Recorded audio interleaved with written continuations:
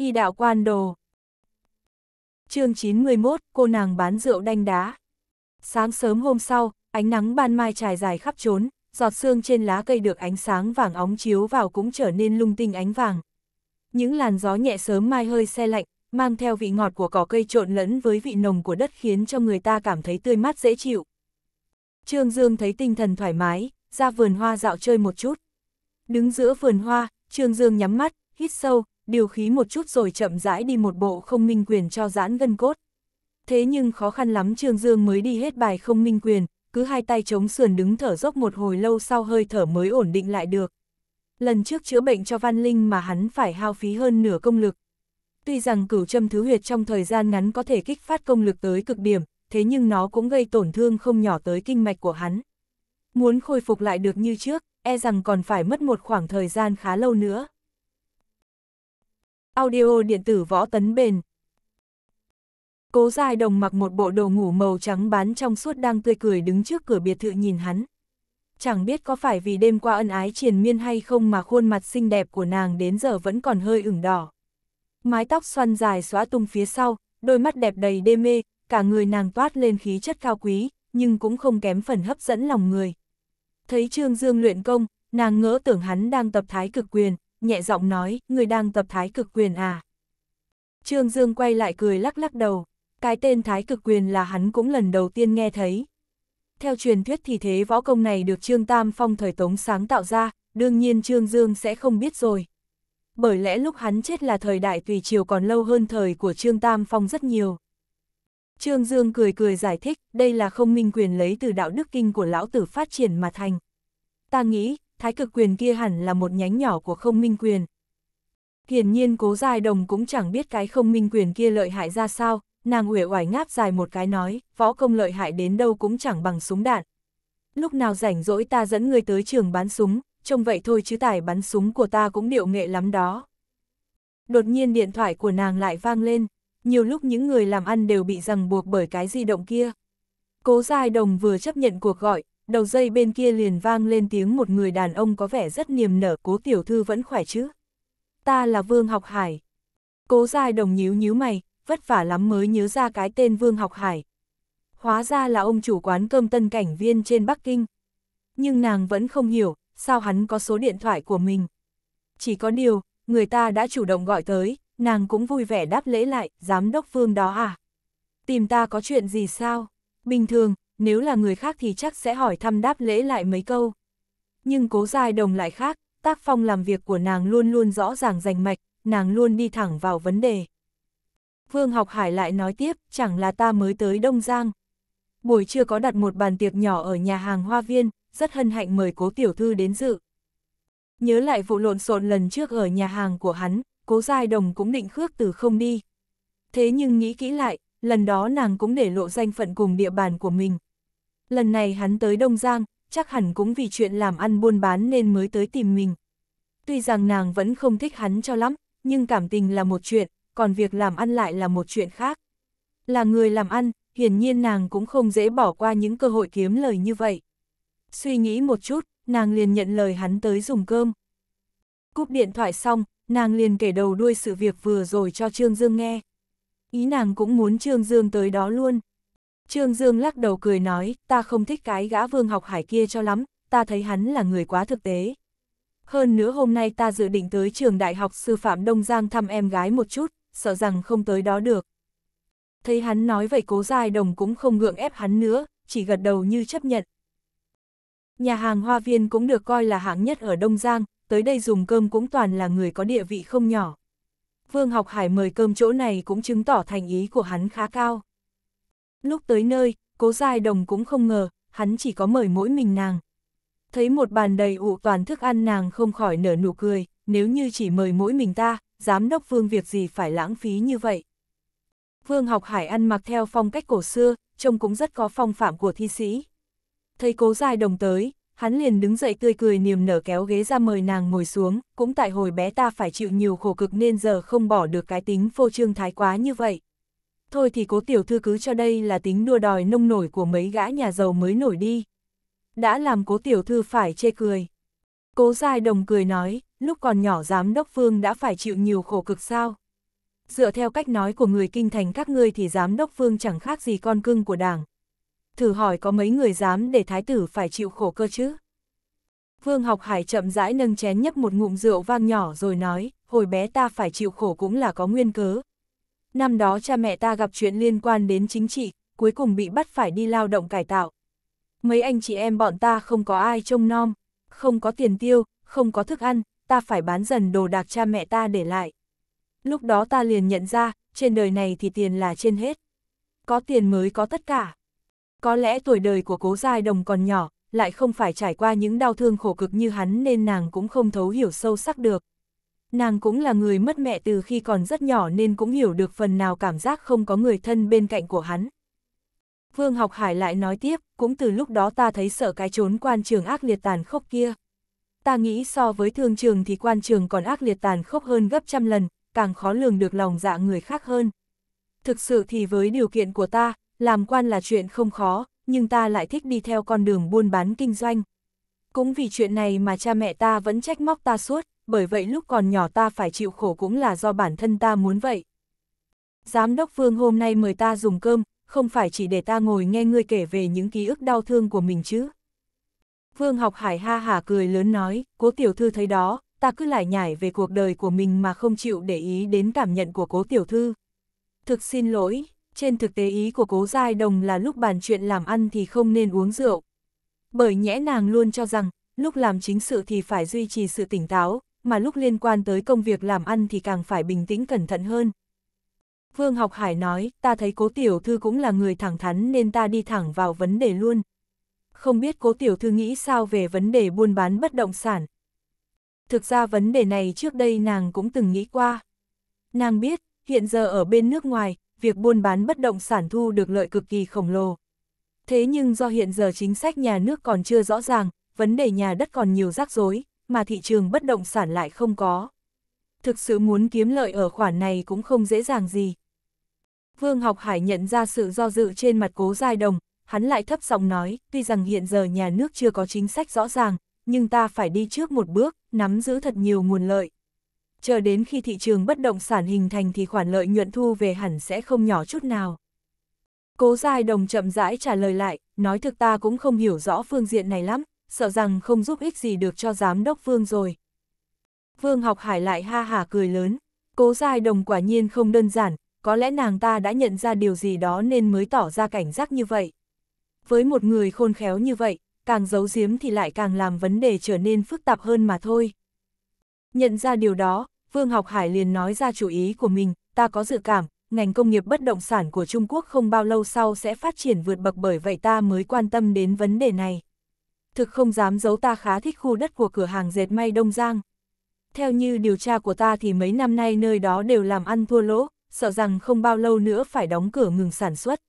Cố tiểu thư cũng là người làm ăn hẳn cũng hiểu nguyên tắc, thà chuyển nhượng lại tìm cách phát triển còn hơn là ngồi một chỗ chờ chết. Cố giai đồng liếc mắt nhìn hắn trả lời lại, hình như lúc nãy giám đốc Phương có nói, ngàng dân dụng xây dựng nhà ở rất có tương lại. Mà cửa hàng dệt may Đông Giang cũng nằm ở trung tâm thành phố. Dỡ bỏ khu đó rồi xây dựng nhà ở dân dụng chẳng phải là rất đáng tiếc hay sao? Vương Học Hải cười nói, ta chỉ nói ngành dân dụng xây dựng nhà ở rất có hứa hẹn chứ đâu có nói chỗ nào cũng nên xây dựng nhà ở đâu. Nói thật, trên khu đất đó, ta định xây dựng một tòa cao ốc lớn nhất Đông Giang, à không, phải là lớn nhất cả tỉnh Bình Hải này. Trở thành khu thương mại lớn nhất Đông Giang này. Tuy rằng cố Giai Đồng cũng khá chú ý đến việc buôn bán bất động sản, nhưng cũng chỉ là chú ý đến chứ không có ý muốn kinh doanh lĩnh vực này. Theo trực giác, nàng cảm thấy có lẽ Vương Học Hải gặp khó khăn ở khâu nào đó nên mới vất vả tìm mình như vậy. Nàng cũng biết, tuy rằng mình cũng là người làm ăn, lại có chút danh tiếng nhưng chắc chắn vẫn chưa đáng để hắn cầu cạnh như vậy. Hẳn là hắn muốn nhầm đến cha mình, vị bí thư tỉnh ủy đầy quyền lực. Nhận ra được điểm then chốt trong câu chuyện, cố giai đồng càng tỏ ra trầm mặc hơn. Phần lớn thời gian nàng đều tỏ ra trầm lặng không nói gì, đây là nàng muốn khiêu chiến tính nhẫn nại của hắn, xem rốt cuộc đến lúc nào hắn mới chịu lòi đuôi ra. Quả đúng như dự đoán, cuối cùng Vương Học Hải nhịn không được phải nói ra, quả thực cũng không phải mình ta nhắm vào khu đất đó. Cũng khá nhiều người tỏ ra hứng thú, muốn có được khu đất đó. Cố Giai đồng ý vị thâm trường liếc mắt nhìn hắn nói, ta thực không nghĩ ra người nào dám tranh giành với giám đốc vương đó. Vương Học Hải thở dài nói, chắc hẳn ngươi cũng biết tập đoàn phong dụ chứ. Lương Thành Long của tập đoàn phong dụ cũng nhắm tới miếng đất đó. Hắn là người Đông Giang, và cũng có công ty ở đây. Hơn nữa cha hắn lại là bí thư thành phố Đông Giang, lại trong ủy ban thường vụ tỉnh Bình Hải. Tuy rằng ta có đủ khả năng lấy được miếng đất đó, nhưng mãnh không không đấu với rắn nước. Ở tỉnh Bình Hải hay thành phố Đông Giang, ta không có nhiều ưu thế cho lắm. Đích thực Vương Học Hải không giấu giếm điều gì. Ở tỉnh Bình Hải này, hắn cũng có không ít mối quan hệ. Trong đó có cả phó chủ tịch tỉnh Triệu Quý Duyên cũng là chỗ thân quen với hắn. Chỉ có điều hắn lại không có quan hệ gì với vị bí thư thành phố Đông Giang Lương Thiên Chính kia. Mới đây hắn cũng định tới bái phỏng Lương Thiên Chính nhưng lại bị người ta từ chối.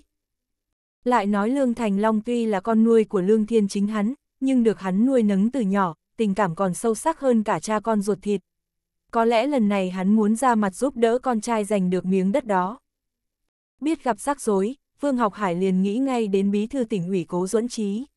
Ở tỉnh Bình Hải này, muốn chèn ép được Lương Thiên Chính thì cũng chỉ có mình vị cố bí thư kia mà thôi. Cũng vì thế mà ngày hôm nay hắn mới mời đại tiểu thư của cố bí thư, cố Giai Đồng đi ăn. Nghĩ rằng có thể thông qua cố Giai Đồng mà để vị cố bí thư kia ra mặt giúp sức. Nhưng lại có một điểm vướng mắc nhỏ nữa. Tuy rằng tiếp xúc không nhiều nhưng hắn cũng nhận ra, cố Giai Đồng là một người thông minh cơ trí, nhưng nàng ta cũng là người làm ăn. Vì vậy muốn nàng ta cùng chung trận tiền thì phải khiến nàng ta động tâm mới được. Sau khi cẩn thận suy nghĩ lại một lượt, Vương Học Hải mới chậm rãi nói, ta cũng đã dự trù khá tỉ mỉ việc quy hoạch miếng đất kia, và cũng phân tích khá đầy đủ lợi ích thu được từ miếng đất đó. Nếu như cố tiểu thư có hứng thú, chúng ta có thể hợp tác làm ăn đạt được kết quả tốt đẹp nhất. Những lời này của hắn cũng chỉ là tung hỏa mù hoặc chẳng khác gì miếng mồi câu béo bở. Cố Giai Đồng cũng thích tích cách thẳng thắn của hắn, nàng gật đầu cười nói, vậy để cứ để ta xem qua bản kế hoạch chi tiết trước đã, rồi sẽ suy nghĩ lời đề nghị của ngươi sau. Người làm ăn nào cũng thế, chỉ cần có lợi nhuận là sẽ không từ chối một cách dễ dàng. Lại nói về Trương Dương, lúc hắn tìm được cô em gái Triệu Tính cũng là lúc cô nàng đang đánh tennis với mấy cô bạn học. Mới ít lâu không gặp mà cô em bé nhỏ nay đã trổ mã thành một thiếu nữ xinh đẹp gợi cảm. Triệu Tĩnh mặc một bộ váy ngắn màu trắng tinh vừa cười vừa chạy đi chạy lại trên sân, tựa như chú nai con tinh nghịch vậy. Trận đấu này là hai đấu hai, mỗi bên một nam một nữ. Trương Dương cũng chẳng thèm để ý hai cô cậu bên kia mà chỉ chú ý mỗi mình một gã trẻ tuổi đánh cặp với Triệu Tĩnh. Tiểu tử kia trông thì cũng có vẻ khôi ngô tuấn tú. Mặt mặt mũi bảnh bao, thân hình khá cân đối, mắt to lông mày rậm, cũng có vài phần nam tử khí khái. Trương Dương vẫn đứng quan sát từ xa. Đến lúc họ nghỉ ngơi liền thấy tiểu tử kia chủ động đưa khăn mặt cho Triệu Tĩnh, rồi lại đưa tiếp một chai nước, có vẻ thập phần ân cần. Còn Triệu Tĩnh lại có chút ngượng ngùng nhìn hắn cười cười. Có lẽ đã trải qua không ít chuyện liên quan đến nam nữ nên Trương Dương khá nhạy cảm với loại tình huống này, ngay lập tức Trương Dương liền thấy điều gì đó khang khác. Nghĩ không ra con bé này vừa mới nhập học được ít lâu là liền có tình cảm nam nữ ngay được. Nhưng nghĩ lại thì chuyện này cũng là bình thường, sinh viên thì cũng 19 đến 20 tuổi chứ còn ít gì, mà hơn nữa, pháp luật đâu có cấm sinh viên không được yêu nhau. Thế nhưng thân là anh trai, Trương Dương cũng thấy lo lắng một chút. Không biết tiểu tử này thế nào, tính cách ra sao, gia đình thế nào, có xứng với triệu tính hay không. Đột nhiên triệu tính như nhận ra điều gì nàng quay đầu lại nhìn, đến lúc thấy Trương Dương đang đứng ở xa xa nàng mới mừng rỡ vẫy vẫy tay gọi lớn, anh. Anh đến đây từ lúc nào vậy? Vừa nói nàng vừa chạy vội đến chỗ Trương Dương, tươi cười vui vẻ lắc lắc hai tay hắn. Trương Dương nhoẻn miệng cười nhẹ, đưa tay xoa đầu em gái. Triệu Tĩnh cũng không né tránh, để mặc hắn xoa đầu mình. Cô nàng cùng học với triệu Tĩnh tên các viện viện lúc này mới cùng hai nam sinh kia đi tới. Biết Trương Dương là anh trai của triệu Tĩnh nàng liền mỉm cười bắt chuyện với Trương Dương. Trương Dương cười hỏi, các người đều là bạn học sao? Triệu Tĩnh gật đầu rồi giới thiệu từng người một cho Trương Dương nghe. Tiểu tử lúc nãy quan tâm triệu Tĩnh tên là Đinh Bân, thuộc khoa thể dục thể chất trường Đại học Sư phạm Đông Giang. Trương Dương chủ động vươn tay chào hỏi, xin chào, ta là Trương Dương, là anh trai của Triệu Tĩnh. Đinh Bân cũng cười cười đáp trả rồi nhiệt tình bắt tay với Trương Dương. Lúc này Trương Dương mới để ý, trên cổ tiểu tử này có đeo một sợi dây chuyền bằng bạc khá to, chắc hẳn gia cảnh nhà hắn cũng khá giàu có. Chào hỏi qua loa mấy câu xong, đám người Đinh Bân cũng cáo từ rời đi. Hiển nhiên Trương Dương cũng không có giữ lại, chỉ gật đầu đồng ý. Thấy ánh mắt em gái vẫn dõi theo bóng lưng hắn ta, Trương Dương nhịn không được cười nói, quen hắn bao lâu rồi. Khuôn mặt triệu tính cũng hơi ửng đỏ lên, vội vàng nói anh. Anh đừng nói bậy, người ta cũng chỉ là bạn học bình thường thôi mà. Có lẽ bị Trương Dương hỏi gấp quá nên triệu tính mới trả lời vội vàng, hiển nhiên là giấu đầu hở đuôi, chưa đánh đã khai. Sao ta lại thấy chẳng có chút bình thường nào thế nhỉ? Anh, mới ít lâu không gặp mà đến cả em gái cũng ăn hiếp luôn là sao? Trương Dương vui vẻ ha hả cười lớn, lúc này mới đem túi đồ có ít đồ trang điểm đưa cho Triệu Tĩnh. Triệu Tĩnh vội vàng mở ra xem một chút liền vui sướng kêu lên, wow! Không ngờ anh cũng biết mua mấy đồ hàng hiệu này đó. Anh trai người từ trước tới giờ vẫn đều dùng hàng hiệu cả. Được rồi, trưa nay muốn ăn gì nào? Triệu Tĩnh vui vẻ nói, buổi chiều em có tiết học, hay là mình tới Lý Tứ Long Hà Thành ăn tôm hùm đi. Từ trước tới giờ Trương Dương vẫn luôn cưng chiều cô em gái bé nhỏ này, đương nhiên sẽ đáp ứng mọi nguyện vọng của cô bé. Thuận tiện Trương Dương nói luôn, hay là em gọi mấy người bạn học kia đi ăn cùng luôn cho vui. Triệu tính vội lắc lắc đầu thấp giọng nói, thôi bỏ đi, em cũng không muốn anh mất tiền nhiều quá. Lý Tứ Long Hà Thành nằm ở trung tâm thành phố Đông Giang, từ trường của Triệu Tĩnh lái xe khoảng 20, là đến nơi. Lúc tới nơi, Trương Dương mới biết, hóa ra quán Lý Tứ Long Hà Thành này nằm ngay gần quảng trường Vĩnh An. Trước đây cũng chỉ có mấy quán vỉa hè bên đường mới bán mấy món này, chẳng hiểu sao dạo gần đây người dân Đông Giang lại có hứng ăn món tôm hùm làm giá tôm hùm càng lúc càng lên cao chóng mặt. Mà quán Lý Tứ Long Hà Thành lại khá nổi tiếng với những món tôm hùm. Tuy rằng mới khai trương khoảng 2 năm nay nhưng kinh doanh khá phát đạt. Lúc hai anh em Trương Dương vào nhà hàng thì đã không còn chỗ trống. Vốn dĩ Trương Dương cũng ghét cái kiểu phải chờ đợi người khác ăn xong mới đến lượt như thế này, nhưng thấy vẻ mặt em gái khá chờ mong, Trương Dương cũng đành nhẫn nại đứng chờ thêm một lúc. Quả nhiên chỉ năm, sau đã có bàn trống, ngồi xuống cái Trương Dương liền gọi một lúc 5 cân tôm hùm. Tuy rằng nhà hàng đông kín khách nhưng chỉ chốc lát sau 5 cân tôm hùm của Trương Dương liền bưng ra đủ. Trương Dương đảo mắt nhìn đại sảnh nhà hàng đông kín khách ăn, trong lòng không khỏi thầm nghĩ. Nếu như nhà hàng của hắn với cố giai đồng cũng làm ăn phát đạt như vậy thì thật tốt biết bao. Mấy cô nàng bán rượu mặc váy ngắn cuốn cớn cứ lượn đi lượn lại các bàn. Đột nhiên Trương Dương nghe thấy bên cạnh vang lên một âm thanh nhỏ nhẹ dễ nghe, tiên sinh, xin hỏi ngài dùng rượu không? Trương Dương quay đầu lại nhìn cô nàng bán rượu đứng bên cạnh mình. Thế nhưng Trương Dương lại không ngờ, cô nàng bán rượu này lại chính là cô bạn của Triệu Nhị Văn, tên Hà Vân Nhạn. Hiện giờ nàng ta đang mặc một chiếc váy quảng cáo rượu khá ngắn, vẫn là gương mặt trang điểm rất đậm, vẫn là cặp đùi thon dài chắn nõn hấp dẫn lòng người. Vẫn như cũ, ánh mắt Trương Dương không tài nào rời khỏi cặp đùi ngon lành kia được. Trong lòng Hà Vân Nhạn thầm chửi rủa thằng nhãi háo sắc khi thấy ánh mắt tục tiếu của Trương Dương cứ nhìn chằm chặp vào đùi mình. Tuy khó chịu trong lòng nhưng công việc của nàng lại phải như vậy, vẫn phải lễ phép tươi cười niềm nở tiên sinh dùng rượu gì ạ. Nếu như người ta đã không nhận ra, Trương Dương cũng không tiện vạch trần nàng ta. Chỉ tùm tìm cười nói, cho ta bốn chai đi, mà chọn loại nào đắt tiền nhất ấy. Hà Vân nhạn nhíu nhíu mày thầm mắng tiểu tử nhà giàu khoe mẽ. Xong việc của mình rồi nàng liền xoay người đi vào lấy rượu cho hắn. Quả thực danh tiếng của Lý Tứ Long Hà Thành không phải giả tạo. Có hai người ăn mà Trương Dương với Triệu Tĩnh ăn hết sạch cả 5 cân tôn hùm. Trương Dương vừa ăn vừa hỏi em gái tình hình học tập gần đây ra sao. Hiển nhiên bốn chai rượu cũng bị hắn nốc bằng sạch, đang định gọi thêm rượu thì thấy Hà Vân Nhạn bị một gã đầu chọc trong bàn bảy người kéo lại ngồi vào trong lòng, hắn bắt ép nàng ta phải uống rượu. Nhìn lướt qua cũng đủ biết chẳng phải hạng tốt lành gì. Hà Vân Nhạn vẫn cứ giấy ruộ chống cự lại kêu lên, các người còn dám làm tới ta sẽ báo cảnh sát đó. Mấy gã kia đều là du côn có tiếng ở vùng này. Còn gã đầu chọc kia tên hiệu Đại Bôn, cũng là người khá tiếng tăm ở cái đất Đông Giang này. Nghe Hà Vân Nhạn đe dọa hắn lại nhe răng cười nói, mẹ nó, người không phải chỉ là một con bé bán rượu thôi sao? Thế nào, hôm nay bán được nhiều rượu không? Chỉ bằng để ta bao hết tất cả rượu của ngươi luôn. 200, đủ để bao cả ngươi chưa? Bị hắn sỉ nhục như vậy, Hà Vân Nhạn liền nổi sung lên, cầm chén rượu trên bàn ta thẳng vào mặt hắn, mắng lớn ta thèm vào. Có tiền thì về mà bao mẹ ngươi ấy. Bị một con bé bán rượu làm trò trước mặt anh em, đại bôn vừa thẹn vừa giận lật tay phải tát thẳng mặt Hà Vân Nhạn một cái như trời giáng, hắn cả giận mắng, đồ gái điếm như mày mà cũng dám làm vậy sao? Hà Vân Nhạn bị hắn đánh cho ngã rúi rụi trên dưới đất. Đám nhân viên nhà hàng thấy vậy nhưng cũng không ai dám ra ngăn cản, sợ rằng sẽ liên lụy tới bản thân. Khóe môi Hà Vân Nhạn di dỉ máu nhưng nàng vẫn quật cường đứng dậy. Trương Dương để ý thấy tay phải nàng cầm một vỏ chai rượu dưới đất, sau đó nàng vọt nhanh tới chỗ đại bôn đứng. Đại bôn đơn giản nhấc chân đá vào bụng Hà Vân Nhạn một cái, lần thứ hai cô nàng lại nằm sóng xoài trên mặt đất, vỏ chai rượu trong tay cũng văng ra rơi xuống đất vỡ tan tành. Có vài mảnh vỡ bắn trúng tay nàng làm máu chảy không ngừng. Mãi tới lúc này gã quản lý nhà hàng mới chạy tới chỗ đại bôn, hắn thấp giọng nói, đại ca, có chuyện gì xảy ra vậy? Đại bôn chừng mắt liếc nhìn hắn mắng lớn, cút, không ông đánh luôn cả mày đấy. Khá nhiều khách ăn không muốn bị liên lụy liền lặng lẽ rời đi từ sớm, chỉ có mỗi mình Trương Dương là lại chậm rãi đi tới.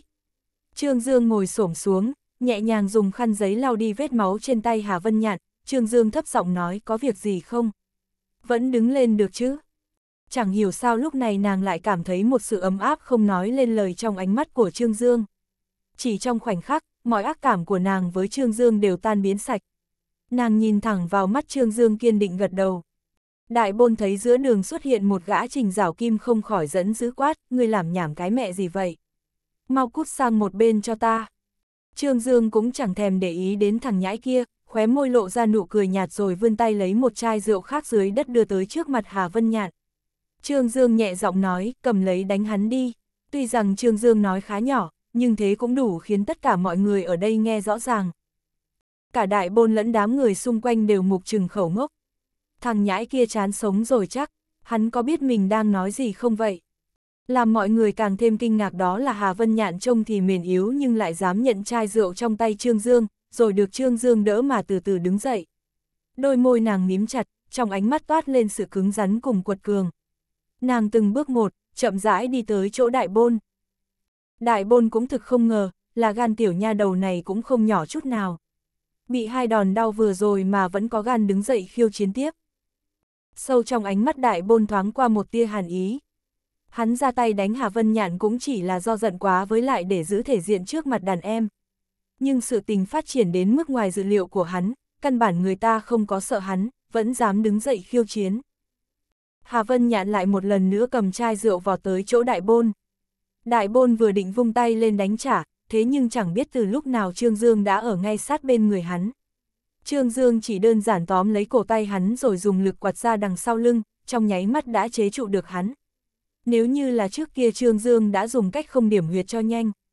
Thế nhưng hiện giờ công lực đại giảm, đành phải dùng cách phổ thông nhất dùng tay dùng chân mới xong việc. Ngay sau đó choang, một tiếng, chai rượu trong tay Hà Vân Nhạn đập thẳng vào đầu đại bôn, chai rượu vỡ ta ra thành từng mảnh nhỏ. Nhiều mảnh vụn thủy tinh cắm vào đầu đại bôn khiến máu chảo ròng ròng, chảy xuống khắp cả mặt hắn. Mấy tên đồng bọn của đại bôn thấy không ổn, đang định lao lên thì Trương Dương chừng mắt liếc nhìn từng thẳng một lạnh lùng nói ta xem thằng nào dám tiến lên. Tiến lên một bước, ta giết cả nhà hắn. Mấy gã kia đều giật mình chứng hết lại, mẹ nó chứ, trước giờ cũng chỉ dọa nhau giết cha giết mẹ, cùng lắm là giết vợ hoặc chồng gì gì đó. Tiểu tử này vừa xuất ngôn cái là đòi lấy mạng cả nhà người ta, thật độc ác quá đi. Tuy rằng không để ý đến lời của Trương Dương, thế nhưng không ai là không tận mắt chứng kiện, đại bôn mưu hắn là vậy mà tiểu tử kia chỉ đơn giản nhẹ nhàng cũng chế trụ được hắn. Sức lực như vậy há có thể coi thường được sao? Đại bôn đi một đòn đau như vậy nhưng cũng không có gào thét hay điên cuồng như trong tưởng tượng của mọi người mà hắn lại nở nụ cười đầy thân mật. a à, bản thân, là ngươi đó sao? Mãi đến giờ ta mới nhận ra ngươi. Đợi chút nữa, chúng ta nói chuyện sau. Trương Dương cười lạnh nói, mẹ nó chứ, ai bạn bè gì với ngươi? Vừa nhìn đã thấy ngươi ghê tởm rồi. Loại người như người ta nhất định phải dạy cho một bài học nhớ đời. Sau này thấy mặt ta là phải tìm đường khác mà lùi đi. Nói xong Trương Dương nhấc chân đạp một cái vào khớp chân hắn. Đại bôn không tự chủ được mà khủy gối quỳ dạp xuống đất. Trương Dương lại nói tiếp, thằng con lợn này, cô gái xinh đẹp như kia mà ngươi cũng nỡ đánh sao. Hiện giờ xã hội toàn một lũ cặn bã như ngươi cả. Mau cúi đầu xin lỗi nàng ta đi. Đại bôn cười lạnh nói, bản thân, hẳn ngươi cũng biết, sĩ khả sát bất khả nhục. Hơn nữa đây là Đông Giang, ngươi không nể mặt mũi ta, ta đảm bảo ngươi tại Đông Giang nửa bước cũng khó đi. Đông Giang sao, trước kia thì có lẽ không, nhưng hiện giờ có tầng quan hệ đó với cố giai đồng, cái đất Đông Giang này chẳng khác gì đất vườn nhà Trương Dương. Vì thế việc gì Trương Dương phải sợ một gã du côn đầu đường xó chợ kia cơ chứ? Trương Dương kinh thường thở dài đạm nhiên nói, chẳng hiểu xã hội bây giờ ra sao nữa, nghe nói là phổ cập phổ thông hết rồi cơ mà. Sao vẫn còn để lọt mấy gã ngu học không biết tự lượng sức mình như thế này? Ngươi có biết ta ghét nhất là loại đầu chọc chuyên đi hiếp đáp phụ nữ như ngươi hay không? Lúc Trương Dương còn đang hàn huyên dậy bảo đại bôn thì Hà Vân Nhạn cũng đã khôi phục lại được ít nhiều sau hai đòn khá nặng vừa rồi của đại bôn. Nàng nghiến răng tiếp tục xông lên, tung cước đá ngay vào phần dưới của đại bôn. Đại bôn cũng không ngờ nàng ta lại ra tay tàn độc như vậy, hắn ngã vật ra đất, ôm hạ thân của mình kêu la thảm thiết, sắc mặt cũng trắng bệch cả ra. Trương Dương cũng đang định từ tay dạy cho hắn một bài học, thực không ngờ lại bị cô nàng Hà Vân Nhạn kia giành trước. Trương Dương liếc mắt nhìn nàng ta một chút cũng không khỏi lắc đầu cảm thán. Cô nàng này tính tình cũng nóng nảy quá đi, chỉ được cái gan dạ quật cường là không ai bằng. Thấy tràng cảnh trước mắt, gã quản lý nhà hàng không khỏi sợ đến hồn bay phách lạc. Làm ở đây lâu năm hắn cũng biết đại bôn là người không nên dây vào. Hắn liền đi tới trước mặt Hà Vân Nhạn mắng lớn, Hà Vân Nhạn, sao ngươi lại hành hung khách hàng như vậy? Tất cả mọi người đều nghe ra, là hắn muốn trốn tránh trách nhiệm, đem mọi chuyện đổ hết lên đầu cô bé Hà Vân Nhận kia. Hà Vân Nhạn lửa giận đùng đùng liếc mắt nhìn hắn, lúc nãy người ta khi dễ ta thì không thấy mặt đâu, giờ thì lại dám ngang nhiên đổ hết trách nhiệm lên đầu ta. Không kìm được nàng lại nhấc chân phải lên hung hăng tặng cho gã quản lý nhà hàng kia một cước y hết đại bân ta bỏ việc. Trương Dương cũng không ngờ cô nàng Hà Vân Nhạn này lại bá bạo đến vậy. Đại bôn khi dễ sỉ nhục nàng ta, nàng ta tức giận nên trả thù thì đã đành, đằng này đến cả ông chủ cũng chẳng tha. Lần này triệu tính cũng không có khuyên can anh trai đừng gây lộn, cũng bởi nhẽ không chỉ anh trai mà đến nàng cũng phải tức giận khi thấy cả đám đàn ông lại đi khi dễ bắt nạt một tiểu cô nương chân yếu tay mềm. Nếu có đủ thực lực thì có lẽ nàng là người đầu tiên xông vào tẩn cho mấy gã kia một trận rồi cũng nên. Trương Dương liếc mắt đánh giá lại Hà Vân Nhạn một lượt rồi mới cười nói, thôi bỏ đi. Hà Vân Nhạn gật gật đầu đồng ý, rồi cùng triệu tính hai người đi hai bên Trương Dương cùng bỏ đi. Lúc bọn họ vừa bước chân ra khỏi cửa nhà hàng thì đại bôn cùng mấy gã đồng bọn tay lăm le thiết côn đuổi tới. Đại bôn một mặt đuổi theo ba người thằng nhãi kia, một mặt rút điện thoại ra gọi thêm chi viện tới. Nỗi nhục ngày hôm nay hắn không tài nào nuốt trôi được, phải phanh thây xé xác ba đứa oát con kia hắn mới hả dạ. Trương Dương cũng bước mau hơn, đây không phải vì Trương Dương sợ bọn chúng mà chẳng qua bên cạnh hắn còn hai tiểu cô nương chân yếu tay mềm. Vạn nhất xô sát ngay tại đây thì hắn cũng không đảm bảo an toàn cho hai cô bé này được.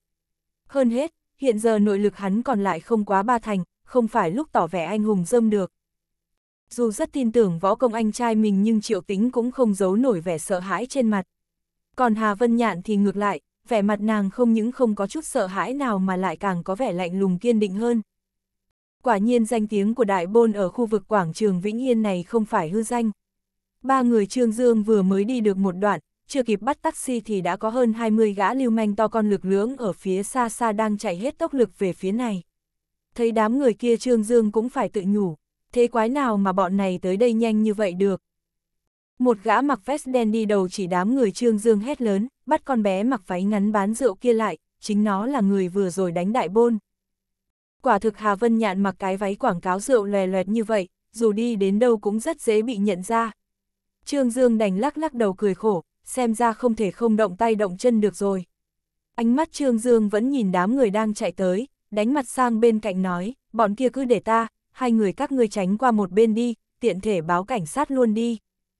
Hà Vân nhạn cả tiếng đáp lại, trông ta giống người không có nghĩa khí, gây chuyện xong bắt người phải gánh vác sao. Trương Dương quay sang cười khổ nói, ta nói Hà Vân nhạn ngươi đó. Ở cái xã hội này, muốn làm người nghĩa khí thì cũng phải có thực lực một chút. Ngươi xem, thôi, đứng tránh sang một bên đi. Khác với Hà Vân Nhạn, Triệu Tĩnh là người hiểu rõ thực lực của Trương Dương, dù có ở lại cũng chỉ làm gánh nặng cho anh trai thêm mà thôi. Nàng nhẹ kéo kéo tay Hà Vân Nhạn, ý bảo nên tránh đi chỗ khác. Thấy hai cô bé kia chạy cũng kha khá xa, lúc này Trương Dương mới thở phào nhẹ nhõm.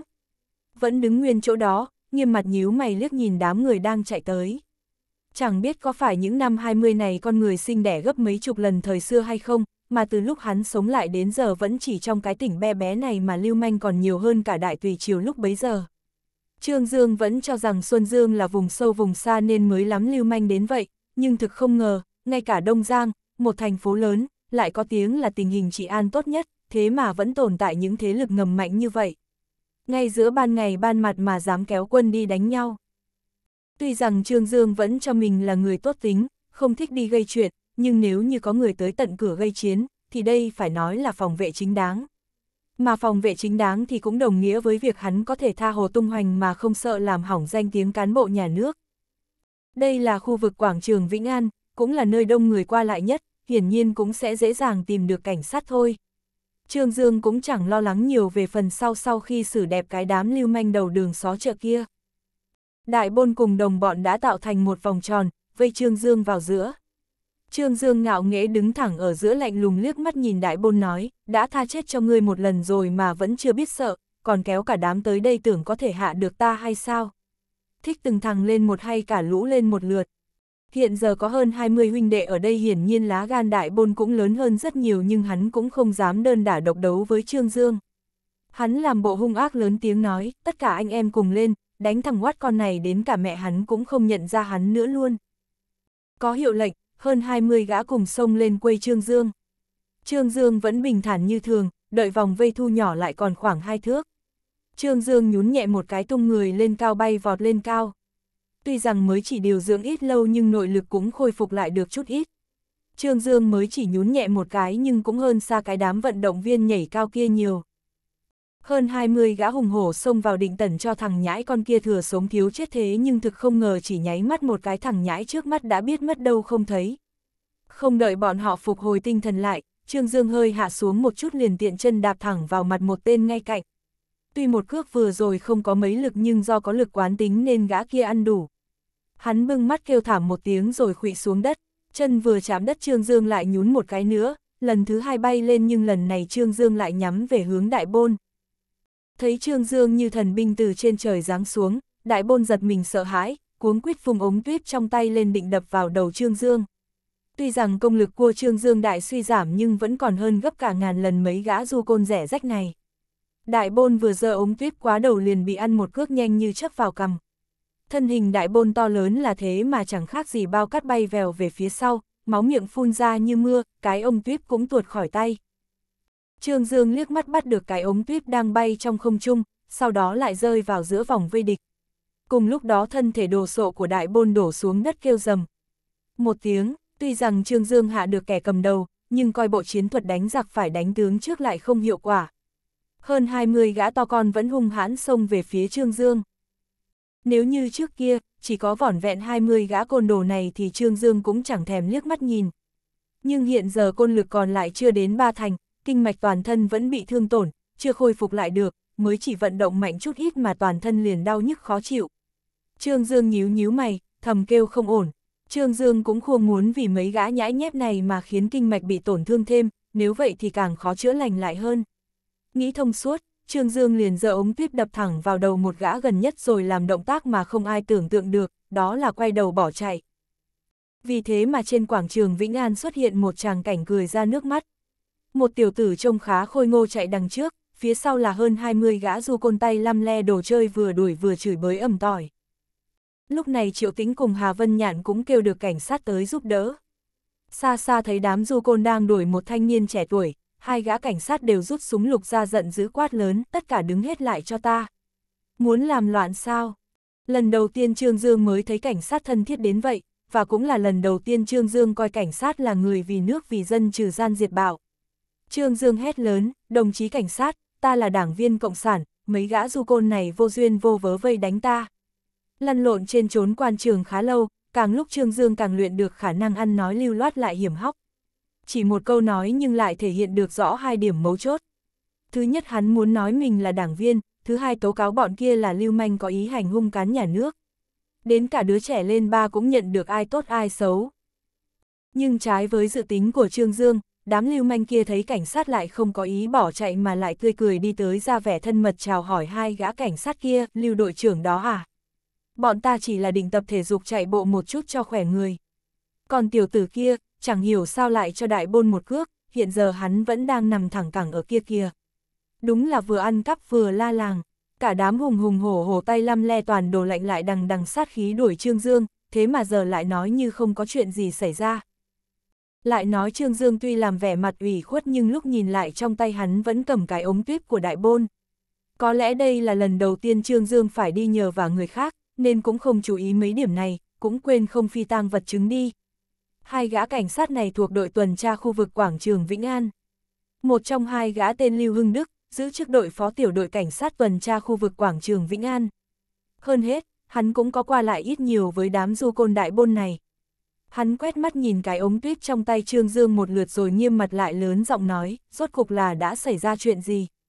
Trương Dương vừa nghe thấy câu đó trong lòng liền thoáng động. Mẹ nó chứ, đen đủi thế nào với ngay cái gã cảnh sát biến chất này. Không phải hắn định đổi trắng thay đen bênh vực bọn xã hội đen ức hiếp dân chúng. Trương Dương vôi vàng thanh minh, tay chỉ gã đại bôn đang nằm ở đàng xa nói, cái này là của hắn, lúc nãy ta nhặt được. Là bọn họ dở trò trêu ghẹo người khác, rồi còn ra tay đánh nàng ta nữa. Ta thấy bất bình nên ra tay tương trợ mà thôi. Lưu Hưng Đức liếc mắt nhìn đại bôn đang nằm ở đằng xa. Hắn quản lý an ninh trật tự trị an ở cái quảng trường Vĩnh An này từ lâu, làm sao không biết tính tình đại bôn cơ chứ? Chắc chắn hắn ta kiếm cớ gây sự với người ta trước, thế nhưng đây là lần đầu tiên hắn thấy đám người đại bôn người đông thế mạnh như vậy lại nếm quả đắng bởi tiểu tử kia. Một lúc sau hai gã đồng bọn của đại bôn cũng quay lại đỡ hắn đi tới bên này. Còn hai cô bé Triệu Tính cùng Hà Vân Nhạn thì cứ luyến thoáng từ nãy tới giờ, kẻ sướng người họa kể lại sự việc phát sinh tại quán Lý Tứ Long Hà Thành. Đương nhiên hai cô bé này đều nói bên mình, rồi nói đám người đại bôn thì toàn một lũ du côn đầu đường xó chợ, làm toàn những việc tội ác tài trời không thể dung thứ. Mà trên thực tế, cũng là do bọn chúng mới phát sinh sự việc như bây giờ. Đại bôn một tay che miệng cho máu đỡ ngừng chảy, giọng điệu đầy bất bình nói, cảnh sát lưu, ta muốn tố cáo hắn. Tố cáo hắn đánh người, ta yêu cầu sự can thiệp của tư pháp, yêu cầu bên phía cảnh sát kiểm tra thương tích. Tuy rằng Lưu Hưng Đức cũng có chút giao tình với đại bôn, nhưng theo phán đoán thì hắn cũng nắm chắc tám thành là gã đại bôn kia dở trò tròng ghẹo tiểu cô nương chọc giận người khác nên mới xảy ra chuyện như vậy. Loại sự tình này cũng chẳng đáng là gì, bởi vậy hắn cũng chẳng việc gì phải đổi trắng thay đen, làm mất đi sự nghiêm minh của pháp luật. Lưu Hương Đức liếc mắt nhìn đại bôn lạnh lùng nói, trước hết người cứ đi viện băng bó vết thương lại đã. Ta thấy chuyện lần này các ngươi cũng làm hơi quá rồi đó. Đại bôn vừa nghe xong liền phát hỏa, cảnh sát lưu. Bọn ta cũng là công dân, người đừng vì thấy bọn họ ít người mà đứng ra bao che. Nguyên bản Lưu Đức Hưng cũng muốn giữ chút mặt mũi cho đại bôn nên tìm cách giải quyết cho nhanh, thấy hắn còn dám ngạnh lại, trong lòng hắn cũng thấy khó chịu. Lưu Hưng Đức lạnh lùng nói, muốn tố cáo sao? Được, vậy tất cả các người theo ta về đồn, rồi thì làm rõ ràng xem sự việc rốt cục là ai đúng ai sai. Trương Dương vẫn cứ lặng thinh đứng nhìn từ nãy tới giờ, xem ra gã Lưu Đức Hưng kia xử lý sự việc cũng khá giỏi, đưa đẩy rất tài tình. Hắn biết chuyện ngày hôm nay không nên giải quyết triệt để nên mới không định dây dưa nhiều, tìm cách giải quyết thật nhanh thật gọn. Dù sao chuyện cũng liên quan tới xã hội đen, hắn cũng chẳng muốn vì chuyện còn con mà đắc tội với người ta làm gì. Thế nhưng Trương Dương cũng không ngờ thằng nhãi đại bôn kia vẫn không biết ý, cứ làm lấn tới. Còn đại bôn, thấy Lưu Hưng Đức vẫn không chịu trả lại công bằng cho hắn, hắn liền rút điện thoại ra gọi người. Chẳng hiểu thời đại gì nữa, đến cả Lưu Manh cũng có chỗ dựa phía sau. Đại bôn gọi điện thoại trước mặt mọi người cũng không phải chỉ là phô trương thanh thế, mà quả thực gần đây hắn đã tìm được chỗ dựa khá vững chắc cho mình. Người kia không phải ai khác chính là Lương Thành Long nguyên chủ tịch tập đoàn phong dụ. Nếu như là bình thường, cũng chẳng ai tin một chủ tịch tập đoàn lại đi giao du với mấy tên lưu manh đầu đường xó chợ. Thế nhưng Lương Thành Long lại khác, nghề của hắn là buôn bán bất động sản, liên quan đến nhà đất. Cũng có nhiều trường hợp người khác không chịu bàn giao mặt bằng, hoặc như đòi tiền cao hơn thì lúc đó hắn phải sử dụng đám lưu manh này để công việc được suôn sẻ. Nếu như có cả bên cần lẫn bên có thì việc quan hệ qua lại là điều hiển nhiên thôi. Nghe đại bôn kêu cần giúp đỡ, Lưu Thành Long cũng vui vẻ gật đầu đồng ý, việc này với hắn cũng chỉ như nhấc tay mà thôi, chẳng đáng là gì. Một việc còn con đổi lại nhân tình của người khác, tội gì hắn không làm. Chuyện, tuy rằng đại bôn là lưu manh có tiếng của đất này, tiếng xấu thì khỏi phải nói, nhưng đổi lại, hắn cũng là người có nghĩa khí, làm việc cũng khá tận tình chu đáo, thủ hạ lại khá đông, rất cần thiết trong nhiều vụ khó giải quyết. Và cũng chỉ khi nào hắn gặp vấn đề dính líu đến pháp luật hay những người nằm ngoài khả năng thì hắn mới tìm đến Lương Thành Long nhờ giúp đỡ. Cúp điện thoại xuống, Lương Thành Long lại nhấc lên, bấm số gọi cho trưởng công an khu vực đó Tăng Vũ Hành, đây cũng là hắn lợi dụng mối quan hệ của chú hắn Lương Thiên Chính để nhờ vào người ta. Tuy rằng Lương Thiên Chính là người làm ăn, thế nhưng ở cái đất Đông Giang này hắn lại là người khá nổi tiếng, hắn không chỉ nổi tiếng trong giới làm ăn, mà ngay cả giới chính trị, các cán bộ lãnh đạo cấp thành phố hay tỉnh, hắn cũng đều quen biết khá rộng. Mới 32 tuổi mà hắn đã giữ chức hội phó hiệp hội công thương thành phố Đông Giang, lại còn có một chân trong ủy ban thường vụ của tỉnh. Mà tập đoàn phong dụ của hắn cũng là doanh nghiệp 3 năm liên tiếp đạt sao vàng, mức độ phát triển và sự lớn mạnh của nó thì khỏi phải bàn. Có đại nhân vật sau lưng như vậy, hiển nhiên Tăng Vũ Hành phải nể mặt ba phần. Hắn không cần suy nghĩ nhiều, liền đánh điện gọi cho Lưu Hưng Đức ra lệnh. Chỉ 10, ngắn ngủi nhưng phía sau màn đã xảy ra không biết bao sự tình. Nhận được điện thoại của cấp trên Lưu Hưng Đức liền thay đổi thái độ ngay. Đây là thời đại 20, không còn là cái thời phong kiến như trước, Lưu Manh cũng có thể trong nháy mắt trở thành người vô tội. Bất kể người ta có làm gì đi chăng nữa, cũng chẳng phải chịu bất kỳ điều gì. Lúc về tới đồn Côn An Nghiễm Châu, Lưu Hưng Đức liền bắt Trương Dương vào nhà giam. Với kinh nghiệm của mình trên quan trường, đương nhiên Trương Dương cũng nhận ra điều gì đó không ổn. Trương Dương cũng không có phản ứng chống đối lại quyết định của Lưu Hưng Đức mà chỉ nhẹ giọng hỏi một câu, cảnh sát Lưu, là hắn tìm người giúp sao? Tuy rằng biết rõ là Lưu Hưng Đức thiên vị đám Lưu manh kia, thế nhưng Trương Dương vẫn bình tĩnh, chọn giải pháp giải quyết nhẹ nhàng. Nghe Trương Dương nói Lưu Hưng Đức cũng thấy hơi xấu hổ. Dù sao hắn cũng là người của pháp luật, biết rõ trắng đen nhưng vẫn cứ làm sai, hiển nhiên hắn cũng thấy có chút áy náy. Trương Dương nở nụ cười tươi nói, Trương Đức Phóng là bạn ta, không bằng để ta gọi điện thoại cho hắn một chút. Trương Dương rất khéo léo nhắc cho hắn biết mối quan hệ này của mình. Mà cái gã Trương Đức Phóng kia thì có lẽ không ai làm trong ngành cảnh sát ở Đông Giang là không biết tiếng tâm hắn. Lưu Trương Đức nghe thấy cái tên Trương Đức Phóng liền trợn mắt há mồm, đứng ngây ngốc một chỗ. Trương Đức Phóng là cái tên mà hạng tiểu tốt như hắn không dám chạm đến. Lúc này hắn mới cẩn thận nhìn kỹ lại Trương Dương. Trương Dương quần áo chỉnh tề, mặt mũi sáng lạn, khí thế bất phàm. Thoạt nhìn hẳn cũng có chút năng lực này. Trương Dương chậm rãi móc di động trong túi ra bấm một dãy số rồi nghe điện, nhưng kỳ thực chỉ là giả bộ chứ không có gọi thật. Chỉ một chuyện còn con này, Trương Dương cũng chẳng muốn nhờ vả đến Trương Đức Phóng làm gì. Cũng là do thằng nhãi đại bôn kia chẳng khác gì chó điên, cứ bắt Trương Dương phải chịu tội cho bằng được nên Trương Dương mới phải giả bộ gọi điện thoại kêu người giúp. Trương Dương liếc mắt thấy Lưu Hưng Đức vẻ mặt khá khó khăn, có vẻ hắn ta cũng đang chờ đợi kết quả của cuộc điện thoại này của Trương Dương. Thế nhưng Trương Dương lại không muốn nợ ân tình của người khác. Đang suy nghĩ, đột nhiên Trương Dương nhớ tới một việc. Đột nhiên Trương Dương nhớ ra, chuyện này hẳn Loan Thắng Văn có thể giải quyết. Chậm rãi gặp điện thoại lại, chậm rãi nói với Lưu Hưng Đức, như vậy đi, ta cũng không muốn làm lớn chuyện này làm gì.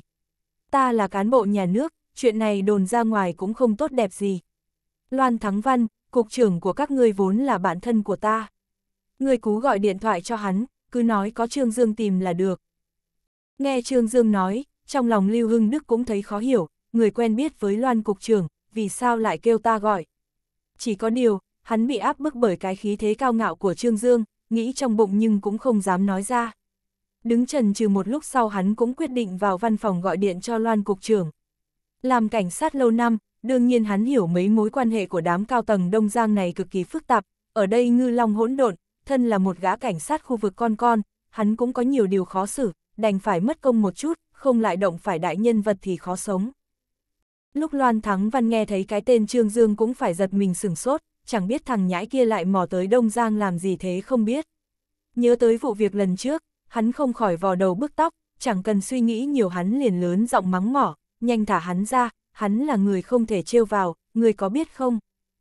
Cục trưởng tàng ra lệnh phải bắt hắn, nói là hắn đánh người quen. Loan Thắng Văn cười nhạt một tiếng, vậy thì chuyện này không liên quan tới ta, ngươi cứ tìm cái gã cục trưởng tàng của ngươi mà giải quyết đi. Lưu Hưng Đức cũng nghe ra giọng điệu đầy ám muội của Loan Thắng Văn. Lúc này hắn mới nhớ ra, cục trưởng tàng với cục trưởng Loan đều không hợp nhau, không biết lời vừa rồi của Loan cục trưởng là có ý gì nữa. Lưu Hưng Đức cuống quyết xin lỗi nói, Loan cục trưởng, là tôi sai. Dù gì tôi cũng là người của ngài, ngài thấy đó. Loan Thắng Văn thở dài nói, tiểu Lưu à, không cần phải giải thích nữa đâu. Ta nói rồi, Trương Dương là gã không thể trêu vào, nhanh nhanh đá hắn đi càng xa càng tốt. Lưu Hưng Đức thấp giọng hỏi lại, Cục trưởng Loan, người xem, ta nên báo cáo lại thế nào? Loan Thắng Văn cũng biết thằng nhãi này sợ bên phía của Tăng Vũ Hành, hắn cũng nhỏ giọng trả lời lại, người cứ nói tên của Trương Dương cho hắn biết, rồi bảo hắn biết, người trước kia đánh ba cảnh sát của chúng ta chính là gã Trương Dương kia. Người cứ nói y nguyên như vậy là được. Loan Thắng Văn nói xong cũng điện thoại cái rụp luôn. Lưu Hưng Đức vất vả lắm mới thu đủ dũng khí, nhấc máy gọi điện cho Tăng Cục trưởng. Lúc hắn vừa nói lại mấy lời vừa rồi của Trương Dương, Tăng Vũ Hành liền rời vào trầm mặc. Thân là cục trưởng một khu vực, hiển nhiên Tăng Vũ Hành cũng được nghe kể lại vụ việc lần trước của Trương Dương, mà lần đó lại là mệnh lệnh trực tiếp từ Cục trưởng Cục Công an thành phố Đông Giang. Thấy Loan Thắng Văn bị một phen khốn đốn, hắn cũng cười thầm trong bụng không ngớt. Rồi sau đó, hắn lại nghe phía sau màn còn những trận giao phong lớn hơn, rồi có tin tức lộ ra, nói Trương Dương có chỗ dựa là cố bí thư tỉnh ủy. Thử hỏi cố bí thư với. chương 92, huynh đệ dùng để kiếm lời. Trương Đức Phóng nói, người dự định làm thế nào bây giờ? Vẻ mặt cố Minh Kiện yêu sầu lắc đầu nói, ta không biết. Ta thật không biết nàng ta lại phiền phức như thế. Lúc bắt đầu quen biết Triệu Nhị Văn, hắn cứ cho rằng nàng ta là một nữ tử phóng khoáng, không ngờ bây giờ cư nhiên lại tới mức này. Trương Đức Phóng thở dài, ta đã sớm khuyên ngươi kiểm chế một chút, đã dự định không đâu vào đâu thì đừng có dính dáng vào, không may ra thì hỏng bét. Giờ thì sao, đúng y như ta nói. Trương Đức Phóng đối với tính cách của Minh Kiện tương đối hiểu rõ, tiểu tử này không phải là một người quả quyết, bằng không sự tình cũng không đến nỗi be bét ra như thế này. Trương Dương nhìn được sự yêu thương sâu trong đôi mắt cố Minh Kiện, hắn ý thức được cố Minh Kiện cũng không phải một người vô tình cho lắm, hắn đối với Triệu Nhị Văn hiển nhiên có tình cảm, nếu như hắn chẳng quan tâm gì đến sống chết của nàng ta, thì căn bản hắn cũng không phải lo nghĩ nhiều. Kỳ thực đến bây giờ Trương Dương cũng không rõ lắm quan hệ của hắn với ba nữ tử kia là cái gì. Theo như hắn phân tích thì Cố Minh Kiện và Trương Như Bình là an hem họ, hẳn là không có vấn đề gì, bằng không thì hắn và Trương Đức Phóng cũng không như thế này được, còn về phần Trình Tú Tú và Triệu Nhị Văn thì rất khó nói. Trương Dương đối với Cố Minh Kiện cũng rất quan tâm, dù sao tiểu tử này cũng đã từng giúp đỡ mình, hơn nữa hắn còn lại em ruột của Cố Giai Đồng, nói trắng ra thì quan hệ có thể coi một phần như là cậu em vợ của Trương Đại Quan Nhân, cũng là người thân trong nhà cả. Mặc dù bình thường người ta vẫn nói trí công vô tư, theo lý chứ không theo thân, nhưng thật ra những người có thể làm được như vậy từ cổ trí kim giờ không có được mất người. Hơn nữa Trương Đại Quan Nhân đối với chuyện nam nhân có vài ba hồng nhan chi kỷ cũng không có chút phản cảm nào, bất quá chỉ là hắn cho rằng nam nhi đại trượng phu, đã dám làm thì cũng phải dám chịu, người đã gây ra chuyện này thì người phải đảm đương lấy hậu quả của nó, đây là một điểm phê bình của Trương Dương đối với Cố Minh Kiện. Trương Dương thấp giọng hỏi, Minh Kiện, ngươi dự định làm sao bây giờ? Cố Minh Kiện thở dài, nói thật ta cũng không phải là không thích nàng, nhưng mà cái cảm giác sớm chui đầu vào dọ, đem đời mình trói vào một nữ nhân sớm như vậy ta không thoải mái cho lắm. Trương Đức Phóng nở nụ cười, hắn càng thêm rõ ràng Cố Minh Kiện, tiểu tử này xem chừng đúng chính là một người nhân từ do dự, thiếu quyết đoán.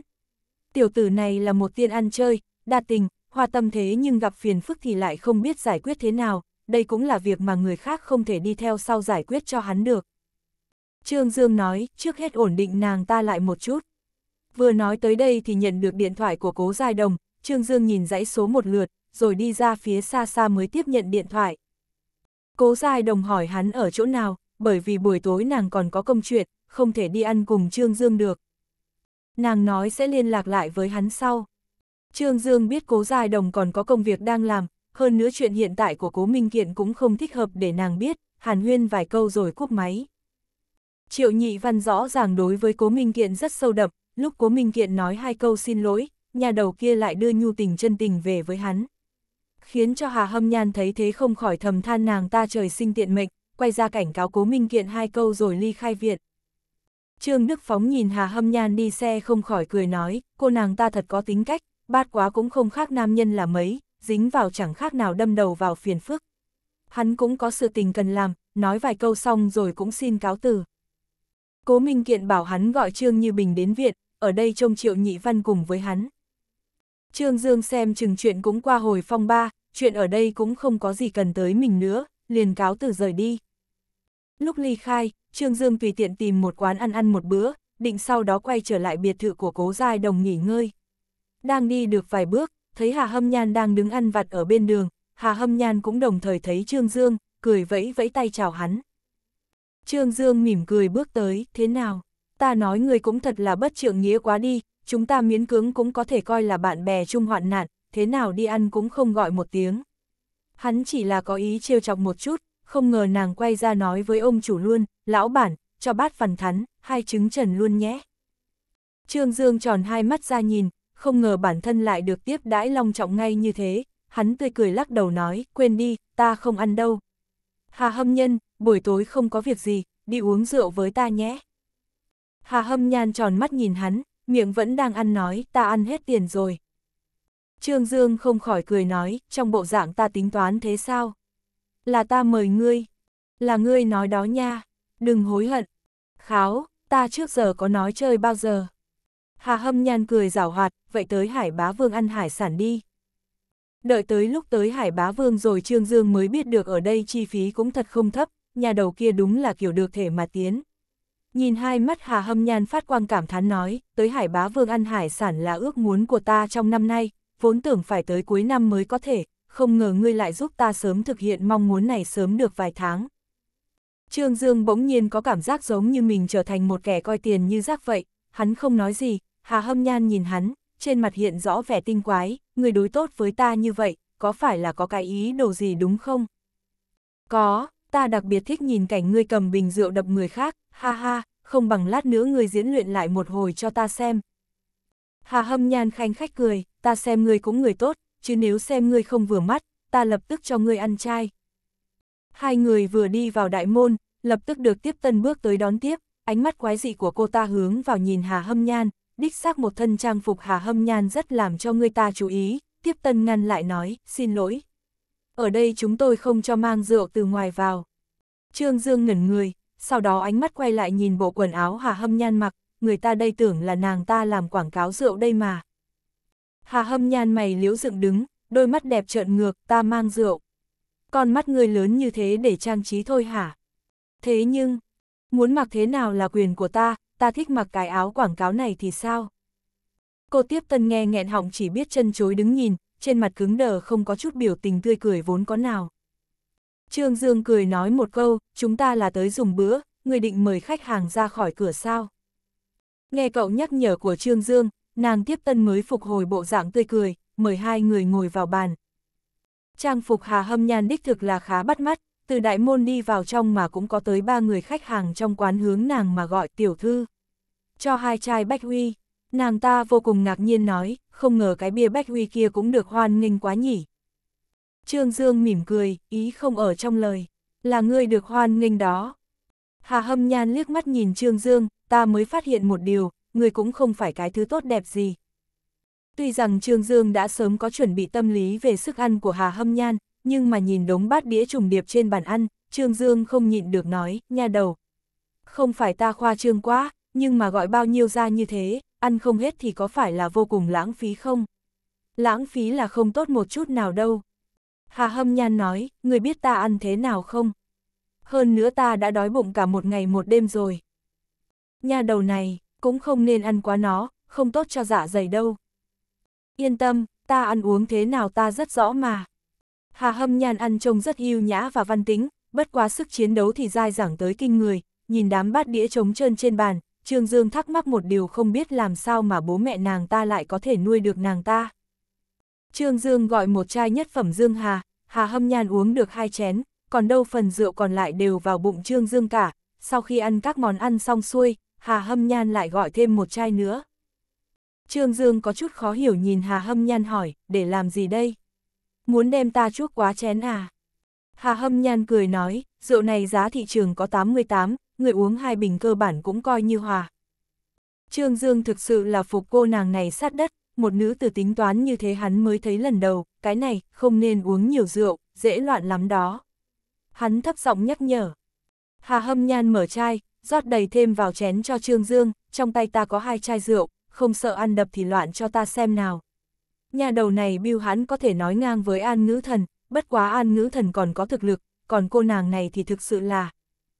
Hà hâm nhan đi vào trong toilet một thời gian, lúc đi ra gặp một trung niên nhân tới bắt chuyện, tiểu thư, xin chào. Ta là đạo diễn từ Hồng Kông, ta xem người rất không sao, muốn người tham gia đóng phim. Hà hâm nhan chỉ Trương Dương đang ngồi phía kia, người trước hết đi hỏi ca ca ta. Gã mập mạp này theo hướng tay chỉ của Hà hâm nhan nhìn về phía Trương Dương, khuôn mặt nhất thời tươi cười tiến nhanh về phía đó tiểu trương chủ nhiệm. Thật sự là hữu duyên thiên lý năng tương ngộ A, không ngờ tới Đông Giang mà cũng có thể gặp lại ngươi. Trương Dương cũng thật không ngờ sẽ gặp lại đạo diễn Lưu Manh Vương Chuẩn ở đây, mặc dù nhìn hắn không ừa mắt nhưng kỳ thực Vương Chuẩn cũng là có một chút danh tiếng. Hai người bắt tay chào hỏi, Trương Dương còn chưa kịp mời hắn ngồi hắn đã ngồi xuống và tươi cười nói, ta lần này tới là đáp ứng lời mời tới làm giáo thuộc tại Học viện Nghệ thuật Đông Giang. Hà Hâm Nhan chính là sinh viện tịa Học viện Nghệ thuật Đông Giang, nghe được Vương Chuẩn nói thế cũng có chút hứng thú, nhẹ giọng bắt chuyện, ngài là đạo diễn thật sao? Vương Chuẩn lập tức xuất ra danh thiếp đưa cho Hà Hâm Nhan nói, Vương Chuẩn. Lão này chỉ nói đúng hai chữ tên mình, chứng tỏ lão rất tự tin về danh khí của mình. Chỉ tiếc là Hà Hâm Nhan lại chưa bao giờ nghe qua tên của hắn, thật không có ý tứ. Vương đạo diễn cũng từng làm phim A. Vương chuẩn chưa kịp trả lời đã bị Trương Dương giành lời nói, giữ lang cộng vũ. Sao sao bảo dám. Vương chuẩn trên mặt có thoáng chút xấu hổ, mẹ nó, thế nào lại phải chịu nhục nhã thế này chứ? Ta đây ít nhất cũng đã làm ba bộ phim, người có nhưng nhưng thật ra không chuẩn, ta đây cũng đã từng được giải thưởng về phim sao ngươi không nói tới. Trương Dương còn bổ sung thêm một câu, cũng vì còn nhiều hạn chế ở nước ngoài nên về đây dự định làm tiếp. Vương Chuẩn lúc này không nhịn được nữa mỉm cười nói, tiểu trương chủ nhiệm thực sự là hài hước. Hà hâm nhan lặng lẽ vứt cái tờ danh thiếp của lão xuống đất.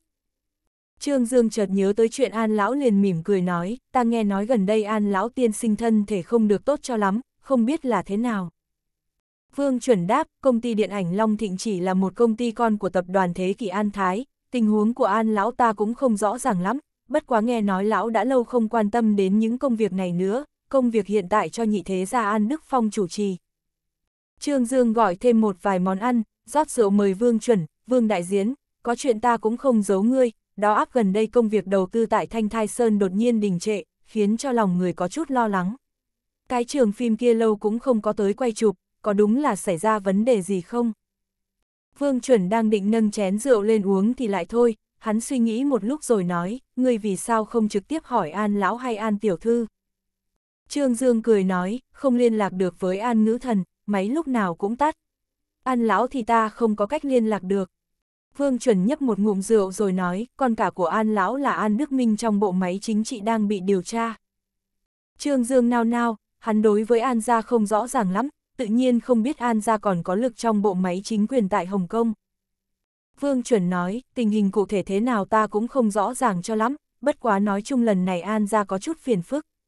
Hắn hiển nhiên không muốn lấy vấn đề này làm trọng tâm câu chuyện mà nói, tiếp tục hàn huyên vài câu rồi đứng đậy xin cáo từ, trước khi rời đi vẫn không quên hướng Hà Hâm Nhan nói, tiểu thư, ngươi thực sự là rất không sai, chỉ cần có chút cố gắng, nhất định sẽ trở thành ngôi sao quốc tế. Hà Hâm Nhan lắc lắc đầu nói, ta đối với làm phim không có hứng thú lắm. Qua vài lời nói của Trương Dương, Hà Hâm Nhan đoán chừng nhất định lão đạo diễn kia cũng vớ vẩn. Vương chuẩn lộ ra một tia cười khổ, trong lòng thầm nghĩ kỳ quái, thế nào mà hình như tất cả mỹ nữ trên đời này đều dính dáng đến cái tên tiểu tử kia không biết. Trương Dương bởi vì chuyện Vương Chuẩn vừa nói, tâm tình trở lên trầm xuống rất nhiều, hắn lấy điện thoại ra gọi lại cho An Ngữ Thần một lần, vẫn nhận được tin báo đối phương đang trong trạng thái tắt máy, Trương Dương bắt đầu cảm thấy được chuyện này khả năng thập phần nghiêm trọng, nếu không An Ngữ Thần tuyệt không tắt máy như thế. Hà Hâm Nhan nhìn ra Trương Dương đang có tâm sự, nhẹ giọng hỏi, người có việc a? À? Trương Dương mỉm cười lắc đầu hỏi nàng, người học học viện nghệ thuật hả? Học chuyên khoa nào? Hà Hâm Nhan nói, vũ đạo. Ồ, khi nào có thời gian múa một đoạn cho ta xem nhé. Hà Hâm Nhan cười nói, lễ mừng năm mới này, hội diễn khai giảng này, người cứ đi cổ vũ cho ta, thế nào cũng được xem. Tốt, nếu có thời gian ta nhất định tới. Những lời này của Trương Dương tràn ngập ý tứ, dù sao hiện tại hắn cũng làm ở văn phòng địa diện tại Bắc Kinh. Hơn nữa lễ mừng năm mới, văn phòng tại Bắc Kinh chắc chắn là bận rộn không cần phải bàn cãi, hơn nữa hắn với Hà Hâm Nhan cũng chỉ là bạn xã giao hời hợt, không có khả năng bỏ dở công việc mà chạy đến Đông Giang cổ vũ cho nàng. Hà Hâm Nhan thì rất nghiêm túc, coi như ngươi đã đáp ứng rồi nhé. Đối với lời nói phải có thành tín A. Điện thoại của Trương Dương bỗng nhiên đổ chuông, hắn vốn tưởng rằng là cố giai đồng gọi tới, nhưng không ngờ là Lý Trường Vũ. Trương Dương đứng dậy ly khai khỏi phòng khách hồn ào, tìm một chỗ yên lặng nghe máy, alo. Thanh âm Lý Trường Vũ trầm thấp, Trương Dương. Chuyện khai thác du lịch tại Thanh Thai Sơn sợ rằng có vấn đề, hiện tại thông tin về sự tình an ra bên kia, sợ rằng liên lụy phiền phức sẽ rất lớn đó. Tuy rằng lời nói của hắn rất huyền chuyển, thế nhưng ý tứ biểu đạt đã tương đối minh xác, chuôi hẹn này nếu như chuyển hóa không tốt, liên lụy đầu tiên sẽ là hắn, lúc đương nhiệm bí thư huyện ủy Xuân Dương, chính lão ký hợp đồng kinh tế với An Áo, cũng vì thành tích tích cực này mà hắn leo lên được chức vụ thường ủy phó thị trường. Nói gì thì đối tác cũng là một tập đoàn tư bản trói lọi, thế nhưng thế sự thật là không thể lường được, ai có thể ngờ được một chuyện tốt như thế cư nhiên lại chuyển hóa thành xấu như thế này. Trương Dương cho rằng Lý Trường Vũ nhất định còn có chuyện chưa nói với hắn, liền thấp giọng hỏi, Lý Thúc, người rốt cuộc là nói chuyện gì? Lý Trường Vũ trầm mặc xuống một lúc rồi nói, có thông tin cho rằng An Gia là một thế lực hắc bang ở Hồng Kông, trước giờ thường xuyên làm ăn phi pháp, cho nên mới tích lũy được lượn tài phú kinh người như vậy. Hiện tại tập đoàn của An Gia biểu hiện ra rất trong sạch thực tế chỉ là các hoạt động rửa tiền, hắn dừng lại một chút rồi nói tiếp, An lão đầu tư tại Thanh Thai Sơn nhiều khả năng cũng bị coi là hoạt động rửa tiền, cho nên. Trương Dương đã hoàn toàn minh bạch, thảo nào mà Lý Trường Vũ lại tỏ ra lo lắng như vậy, giả như An lão thực sự là lợi dụng chuyện đầu tư tại Thanh Thai Sơn để rửa tiền thì hậu quả của chuyện này là rất nghiêm trọng. Hắn chỉ là một cán bộ phụ cấp, hơn nữa của đã rời khỏi sở thương mại và đầu tư, liên lụy hẳn là không lớn, thế nhưng những thành viên trong ban đầu tư, rồi thường vụ phó thị ủy Lý Trường Vũ, chủ tịch huyện Tần Thanh, tất cả từ trên xuống dưới vì chuyện này hẳn là sẽ gặp chuyện không hay rồi, thậm chí có thể vì thế mà hỏng hết tiền đồ, trách nhiệm đầu tiên chắc chắn thuộc về Lý Trường Vũ. Lý Trường Vũ nói, mau chóng làm rõ ràng chuyện này, nghĩ biện pháp liên hệ với An ra một chút, xem xem rốt cuộc là xảy ra chuyện gì. Khoản đầu tư của bọn họ vào Thanh Thai Sơn có vấn đề gì không? Trương Dương thấp giọng nói, người yên tâm, ta sẽ nhanh chóng tìm cách làm rõ chuyện này. Cúp máy xong, tâm trạng Trương Dương trầm trọng đi rất nhiều, Lý Trường Vũ gọi điện thế này không chỉ là nhắc nhở, mà chủ yếu chính là cầu viện. người trong quan trường thường càng ở vào vị trí cao thì càng sợ mất đi địa vị vốn có. Lý Trường Vũ khắc khổ nhiều năm như vậy mới có vị trí ngày hôm nay, nguyên bản trông cậy vào du lịch Thanh Thai Sơn sẽ viết lên bảng chính tích huy hoàng cho hắn, nhưng tham vọng của hắn không những không thành mà bản thân còn có nguy cơ lâm vào khốn cảnh. Biểu hiện không yên lòng của Trương Dương không qua được mắt Hà Hâm Nhan, nàng cầm khăn tay lau miệng rồi nói, no rồi. Nào, chúng ta đi thôi. Trương Dương đúng lên, lúc này cố dài đồng mới gọi điện thoại tới, Trương Dương bảo nàng tới Hải Bá Vương đón hắn. Thanh toán xong cùng Hà Hâm Nhan đi ra cửa rồi gọi taxi cho nàng, lúc taxi chuẩn bị rời đi, Hà Hâm Nhan kéo kính xuống, vươn cánh tay trắng nõn ra đưa cái khăn tay cho hắn. Trương Dương nhìn thấy trên cái khăn tay là số điện thoại của nàng, Hà Hâm Nhan nói, lần sau tới Đông Giang gọi cho ta. Trương Dương gật gật đầu cười nói, hình ảnh cô nàng bán rượu này không hợp với người đâu. Mà cũng đừng có động tí là vác chai mà đập người ta. Làm bị thương người khác thì không sao, cẩn thận lại làm bị thương chính bản thân mình đó. Hà Hâm Nhan cư nhiên có biểu hiện ra một chút nghe theo, biết rồi. Hơn 10 phút sau cố dài đồng tới Hải Bá Vương, Trương Dương vừa lên xe nàng đã ngửi thấy nồng nặc mùi rượu, không khỏi cười nói thế nào. Một mình cô đơn tịch mịch, tìm rượu giải sầu à. Trương Dương cười nói, tiêu sái anh Tuấn, Ngọc Thụ Lâm Phong như ta đây, bên người có bao giờ thiếu mỹ nữ bầu bạn. Cố dài đồng bĩu môi, ta phát hiện bản thân mình thực sự quá tốt, thực sự không chịu nổi ngươi. Ngươi chịu không nổi ta à, vật mỗi lần còn muốn không để yên. Cố dài đồng đỏ mặt lảng sang chuyện khác, mệt chết đi được. Vì chuyện làm ăn công ty gần đây mà bận rộng quá, cái đám ở công ty chẳng được việc gì, chuyện gì cũng phải tới tay tự giải quyết. Ta nói ngươi là tổng giám đốc, không cần phải việc gì cũng vơ vào làm đâu, cứ thoải mái đi một chút. Cố dài đồng thở dài, ta vốn thật muốn cho Minh Kiện tới công ty giúp ta, nhưng ngươi nhìn cái bộ dạng hắn xem, suốt ngày chỉ chơi bời lưu lồng, cứ vài ngày không gặp là thấy đi với một cô khác.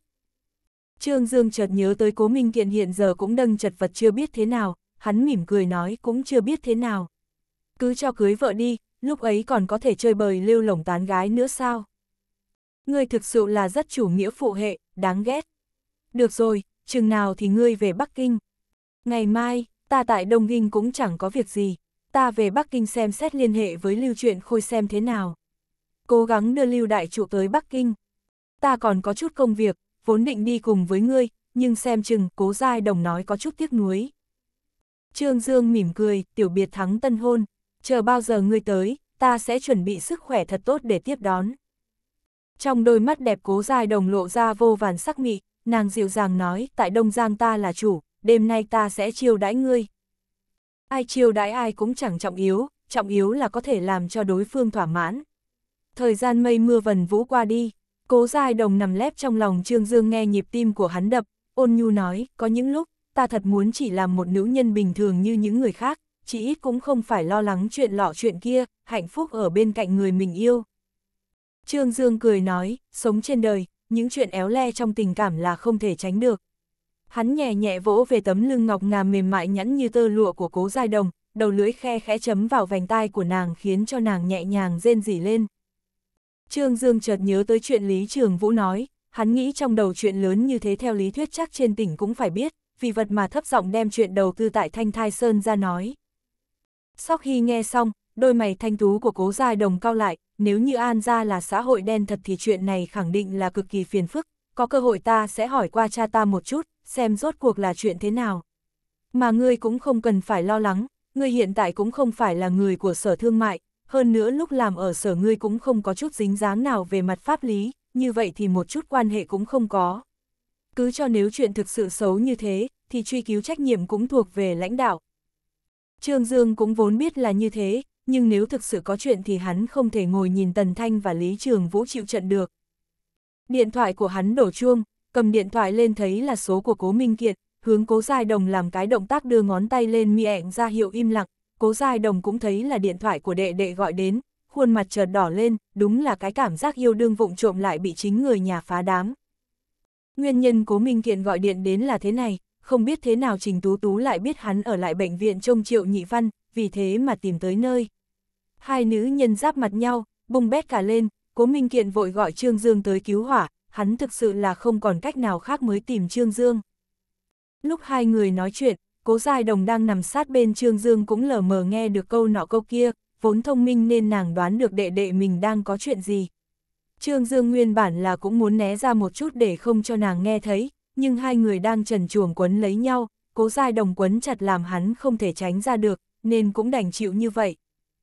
Cố Minh Kiện thấp giọng, Trương Dương, ngươi nhất định phải tới, Triệu Nhị Văn vốn rất nghe lời ngươi, lần này coi như là cứu ta đi.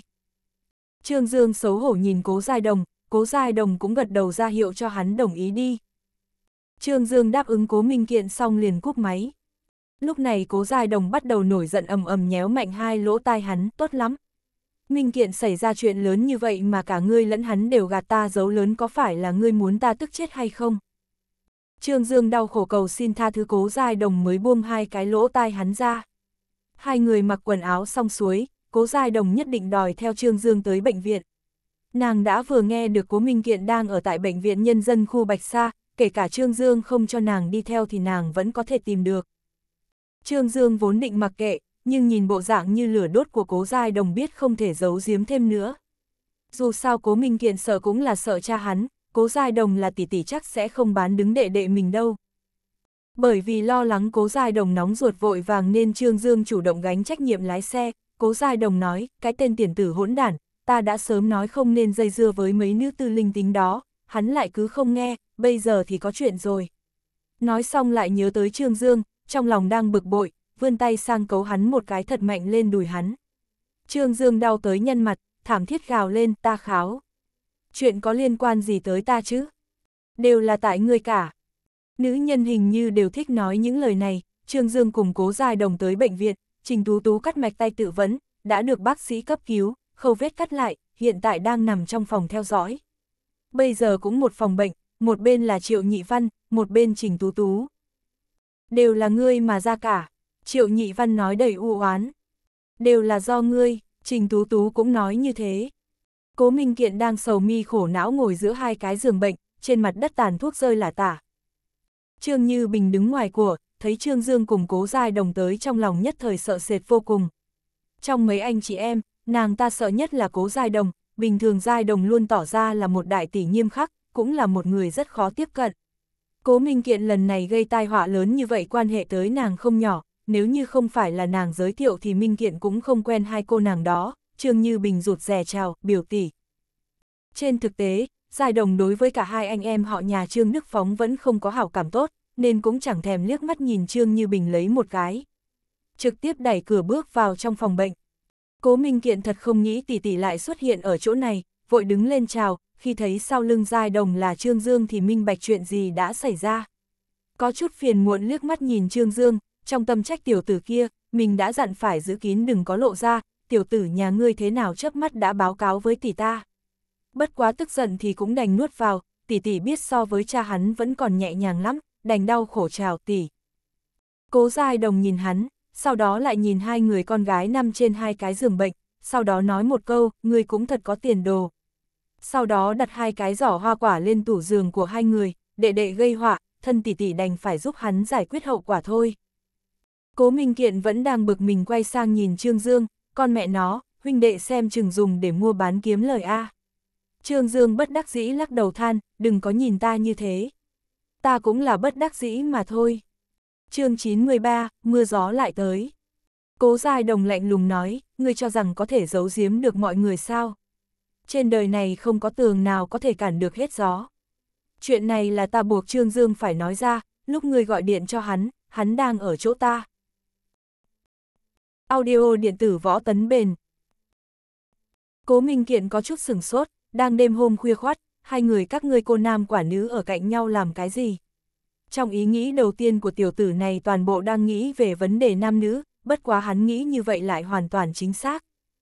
Cố Giai Đồng thấy trên mặt đệ đệ có chút sừng sốt, lập tức đoán được tiểu tử này đang suy nghĩ vấn đề này, thấp giọng nói công việc Trương Dương có chút phiền phức, chúng ta đang uống rượu ở quán bar. Trương Dương lui ra ngoài, bây giờ là việc gia sự của cố gia, hắn cũng không cần phải quan tâm nữa. Đi ra ngoài cửa thấy Trương Như Bình đang đứng ngồi không yên, liền cười nói, người không vào trong xem sao hả? Đứng bên ngoài làm gì? Trương Như Bình nhỏ giọng nói, ta rất sợ biểu tỷ. Trương Dương, là ngươi nói cho nàng à?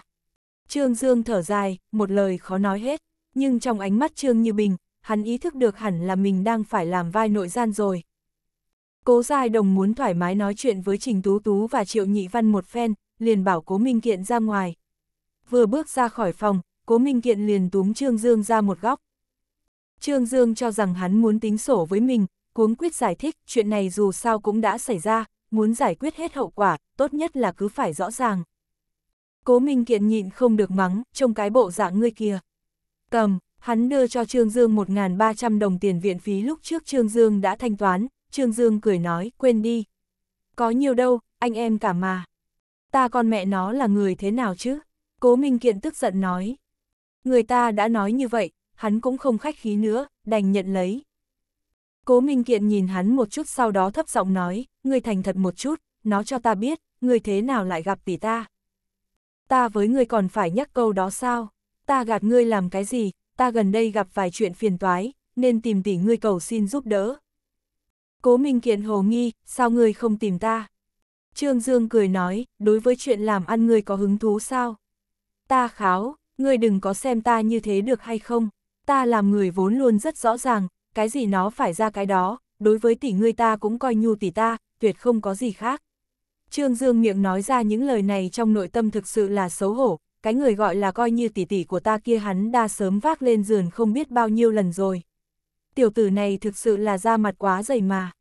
Cố Minh Kiện đối với tính cách của Trương Dương cũng tương đối rõ ràng, tiểu tử này lần trước vừa mới tới Đông Giang, quan hệ với Hải Lan bị hiểu nhầm thành mua dâm nên bị bắt lại, nếu như không phải có hắn giúp đỡ không biết chuyện này còn rắc rối tới mức như thế nào. Bất quá tình cảnh hiện tại của mình so với hắn cũng chẳng khá hơn chút nào, chuyện này nếu mà để lộ ra ngoài, thể diện của cha nhất định bị ảnh hưởng, lúc ấy phải gánh chịu hậu quả thì không biết thế nào. Cố Minh Kiện biết tiểu tử này mưu ma trước quỷ, người nói xem, ta bây giờ phải làm thế nào? Trương Dương thấp giọng, Trình Tú Tú cũng mang thai rồi à? Cố Minh Kiện lắc lắc đầu, người còn chê ta chưa đủ phiền phức nữa hay sao a? Trước đây mấy nàng ở chung với nhau vẫn tốt, thật không hiểu sao bây giờ lại ra cái dạng này. Nói thật, ta đối với cả hai đều thích, nhưng người cũng biết, không thể nạp thiếp được mà. Trương Dương nở nụ cười, kỳ thực chuyện này cũng đơn giản, dù sao chuyện cũng đã ra, mà bọn họ cũng như thế kia. Ngươi cứ đem chuyện nói rõ ràng với họ, nếu như hai nàng thực sự yêu ngươi thì sẽ không hại ngươi vào chỗ chết đâu, nếu các nàng có thể tiếp thu, như vậy chẳng phải là quá tốt sao. Cố Minh Kiện phiền muộn nói, cũng không thể trốn tránh cả đời, có lẽ cũng vẫn phải chọn lựa đối mặt. Nói là thế chứ mọi việc cũng chưa đến nỗi hỏng không cứu vãn được. Nếu như bọn họ thông suốt thì sẽ rất dễ giải quyết. Nói chung là ngươi làm chuyện xấu thì vẫn sẽ phải gánh hậu quả thôi, trước đây ngươi có thể hai tay hai nàng thì tương lại cũng vẫn vậy, vấn đề là ngươi có tìm được cách hay không thôi. Trương Dương nhìn cố dài đồng bước ra, quay ra nói nhỏ với Minh Kiện, đừng có nói với tỷ tỷ là ta dạy ngươi thế đó. Trương Dương cùng cố giai đồng ly khai bệnh viện thì đã là 3 giờ sáng, trên đường quay trở lại biệt thự, cố giai đồng bỗng nhiên mắng hắn, Minh Kiện đều là do ngươi làm hỏng. Trương đại quan nhân ra vẻ vô cùng oan khuất, ta cũng mới quen hắn, gặp qua được vài lần, sao lại có liên quan tới ta ở đây chứ? Ngươi còn mặt mũi nói à, vừa nãy ở bệnh viện ngươi dạy hắn cai gì, tiếp tục lừa tiếp, đây chẳng phải là ngươi dạy hắn làm hại con gái nhà người ta sao? Trương Dương thế mưa oi biết thì ra là cố minh kiện kia cũng bán đứng mình rồi, thằng nhãi này rõ ràng là cố tình trả thù mình đây mà. Hắn thẳng thừng hung hồn nói, không tính cách an ổn lại tâm trạng của mấy nàng ta, lẽ nào mặc kệ để họ tự sát à? Nếu chuyện này lộ ra ngoài, thì hậu quả sẽ tới mức nào? Mặt mũi cố ra sẽ để vào đâu? Cố dài đồng thở dài, mình Kiện cứ tiếp tục suốt ngày lêu lồng thế này thì cũng thật không có biện pháp. Cứ cho là chuyện ăn nì quả đi, sau này không biết sẽ còn có chuyện gì nữa. Mấy ngày nay ta đang suy nghĩ xem tìm cách nào đưa hắn ly khai Đông Giang.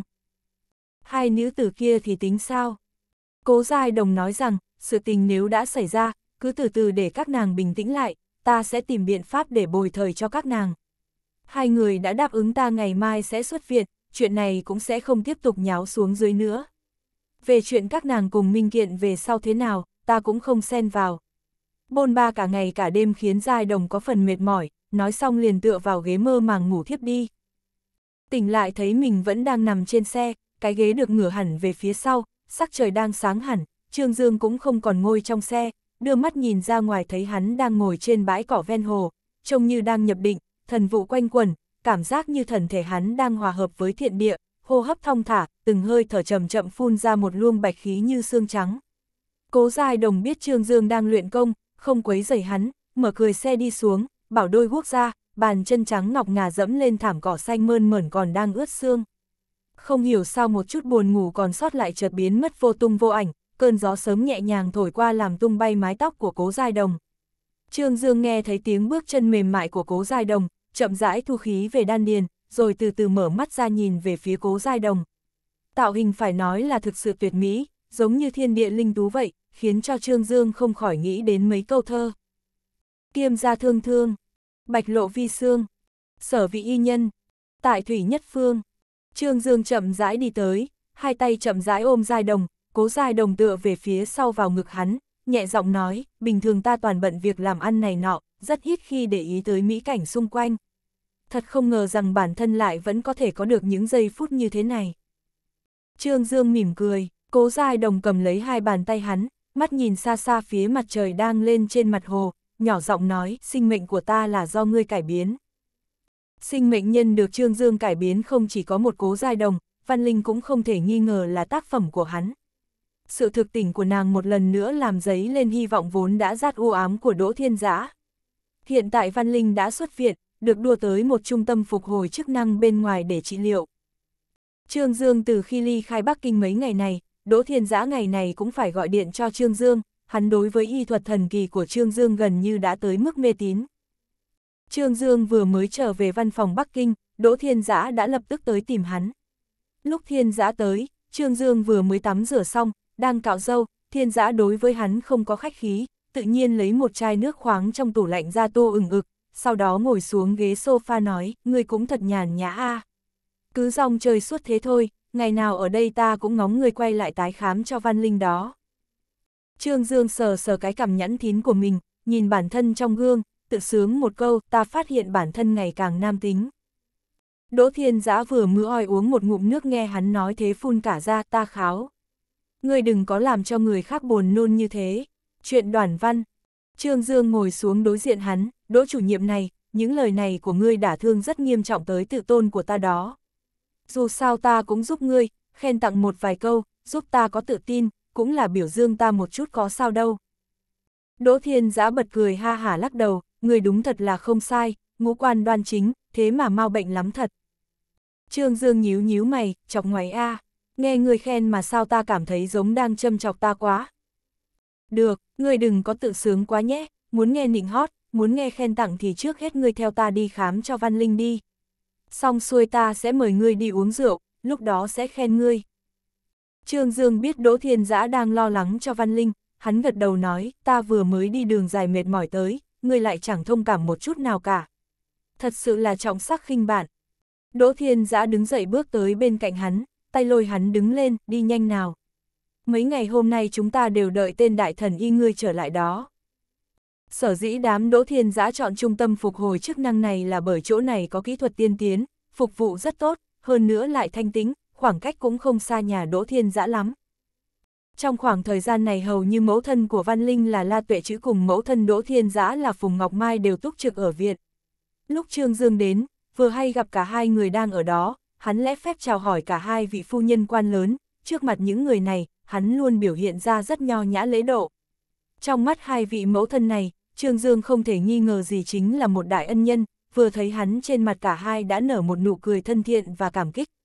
So với Phùng Ngọc Mai thì La Tuệ chữ đối với hắn biểu hiện ra càng hàm xúc hơn, bà đứng dậy pha ấm trà cho hắn, chỉ là một hành động rất nhỏ thế thôi nhưng đã biểu lộ rõ ràng thái độ của bà với Trương Dương, với thân phận của bà mà lại đi pha trà cho người khác, Trương Đại Thần Y thực sự là thụ sủng nhược kinh.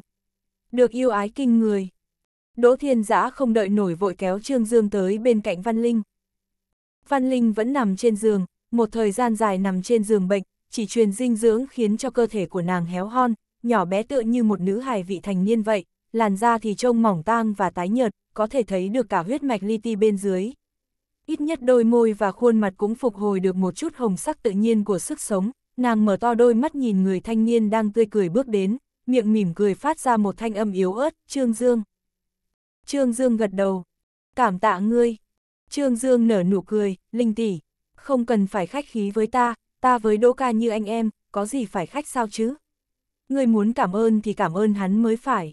Không nói ra điều gì ngoài mối quan hệ của mình và Đỗ Thiên Giã, xem chừng biểu hiện của Trương Đại Quan Nhân có vẻ càng ngày càng lão luyện hơn rồi. Văn Linh muốn ngồi dậy một chút, Đỗ Thiên Giã vội tới giường, nhẹ nhàng đỡ nàng ngồi dậy, đồng thời kê thêm cái gối xuống phía sau lưng nàng. Nhiệt độ cơ thể của Văn Linh vẫn thấp hơn người thường một chút, ngón tay Trương Dương chạm đến cổ tay nàng đã cảm thấy một chút lạnh lạnh, mạch đập của nàng vẫn yếu ớt mặc dù đã mạnh hơn lúc trước nhất nhiều. Hai hàng lông mày Trương Dương khẽ cao lại một chút, nếu như muốn tăng tốc độ phục hồi cho Văn Linh thì chỉ có cách là cao thủ dùng nội lực trực tiếp đả thông kinh mạch cho nàng. Hiện tại cao thủ mà lại còn tinh thông y lý thì cũng chỉ có mỗi mình hắn, bất quá lần đầu chữa trị cho Văn Linh hắn đã tiêu hao nội lực quá độ tới mức suýt nữa thì nguy hiểm tới cả tính mạng, hiện tại vô luận thế nào cũng sẽ không mạo hiểm như thế nữa, Văn Linh đã không có chuyện gì rồi, quá trình phục hồi kéo dài một chút cũng chẳng làm sao. Trang thiết bị tại viện phục hồi chức năng này có thể coi là tiên tiến, Trương Dương đối với những thứ thuộc về y học hiện đại này cũng có một chút nhận thức, hắn cũng xem qua phương án điều chu cho Văn Linh, ngoài ra hắn còn có bổ sung thêm một vài phương thuốc tự dược vật tự nhiên để củng cố căn nguyên thân thể Văn Linh, khiến cho cơ thể nàng chậm rãi khôi phục. Trương Dương đang ngồi kê phương thuốc cho Trương Dương, thấy La Tuệ Chữ đi tới, hắn cuống quyết đứng dậy chào hỏi. La Tuệ Chữ thấy thế mỉm cười nói, không cần khách khí, ngươi cứ tiếp tục đi, ta chỉ muốn hỏi ngươi mấy câu thôi. Trương Dương lúc này mới ngồi xuống. La tuệ chữ liếc mắt qua tờ giấy Trương Dương đang viết thấy thể tự hắn viết loan phiêu phong bạc, rồng bay phượng múa, không khỏi khen ngợi, thật không ngờ ngươi viết chữ cũng rất đẹp a. À. Trương Dương cười nói, ta đối với thư pháp cũng có một chút hứng thú, thường ngày rảnh rỗi cũng thường viết vài chữ. La tuệ chữ cầm tờ giấy Trương Dương viết lên nhìn lại một chút, nhẹ giọng nói ta cũng thích thư pháp, lão sư. Trương Dương vội vã cảm ơn. La tuệ chữ hỏi, Trương Dương, theo như ngươi xem, nữ nhi của ta cần bao nhiêu thời gian để có thể khang phục lại. Khang phục trong ý của La Tuệ chữ là bao giờ Văn Linh có thể sinh hoạt được như người bình thường. Trương Dương nói, nếu như ý chí của nàng ngoan cường, kiên trì tiến hành luyện tập phục hồi chức năng, hơn nữa ta cũng kê cho nàng phương thuốc để củng cố căn nguyên cơ thể, một năm chắc có thể đi lại được, còn về hoàn toàn khôi phục chắc phải hai năm hoặc hơn.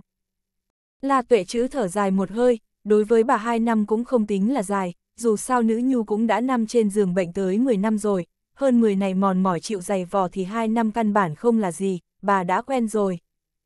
Lúc này bên ngoài vang lên một thanh âm, mẹ. Một nam tử chừng khoảng 30 tuổi tiến vào trong phòng, hắn tên gọi là Văn Hạo Nam, là con trai của La Tuệ Chữ và Văn Quốc Quyền, đang công tác tại một bộ phận nào đó trong không quân quốc gia, hiện đang học tập tại Học viện Quốc phòng Trung ương để nâng cao học vị, diện tại quân hàm của hắn là đại tá. Hắn so với tỷ tỷ Văn Linh thì nhỏ hơn 2 tuổi, từ sau khi Văn Linh bị tai nạn trở thành người thực vật, hắn là niềm hy vọng duy nhất còn lại của vợ chồng Văn Quốc Quyền, cả hai đối với thành tựu của hắn vô cùng trông mong. Mà Văn Hạo Nam đích xác cũng rất ưu tú, so với đám đồng trang lứa rõ ràng hắn nổi bật hơn cả, không chỉ có năng lực xuất sắc, mà đối nhân xử thế cũng hết sức thành thục. La tuệ chữ dịu dàng cười nói, Hạo Nam, người tới vừa đúng lúc a. Đây là Trương Dương, Văn Hạo Nam chủ động vươn tay ra bắt tay Trương Dương, Văn Hạo Nam đã nghe nói về ý thuật thần kỳ khó tưởng của Trương Dương, thực sự là khó lòng có thể tin nổi, hắn cũng được nghe Lý Vĩ nói võ công của Trương Dương bất phàm, mà Văn Hạo Nam cũng rất am hiểu đấu vật và tán đả, đối với cao thủ hắn luôn rất thưởng thức. Văn Hạo Nam cười nói, nghe nói võ công ngươi rất cao, có thời gian xin được lãnh giáo vài chiêu. Tiểu tử nhà ngươi thật là, vừa mới thấy người ta đã cái gì luận bàn với lãnh giáo. Thật là bất lịch sự, La Tuệ chữ có chút không vừa ý oán trách. Trương Dương cười nói, chút công phu mèo quào đâu có dám khoe khoang.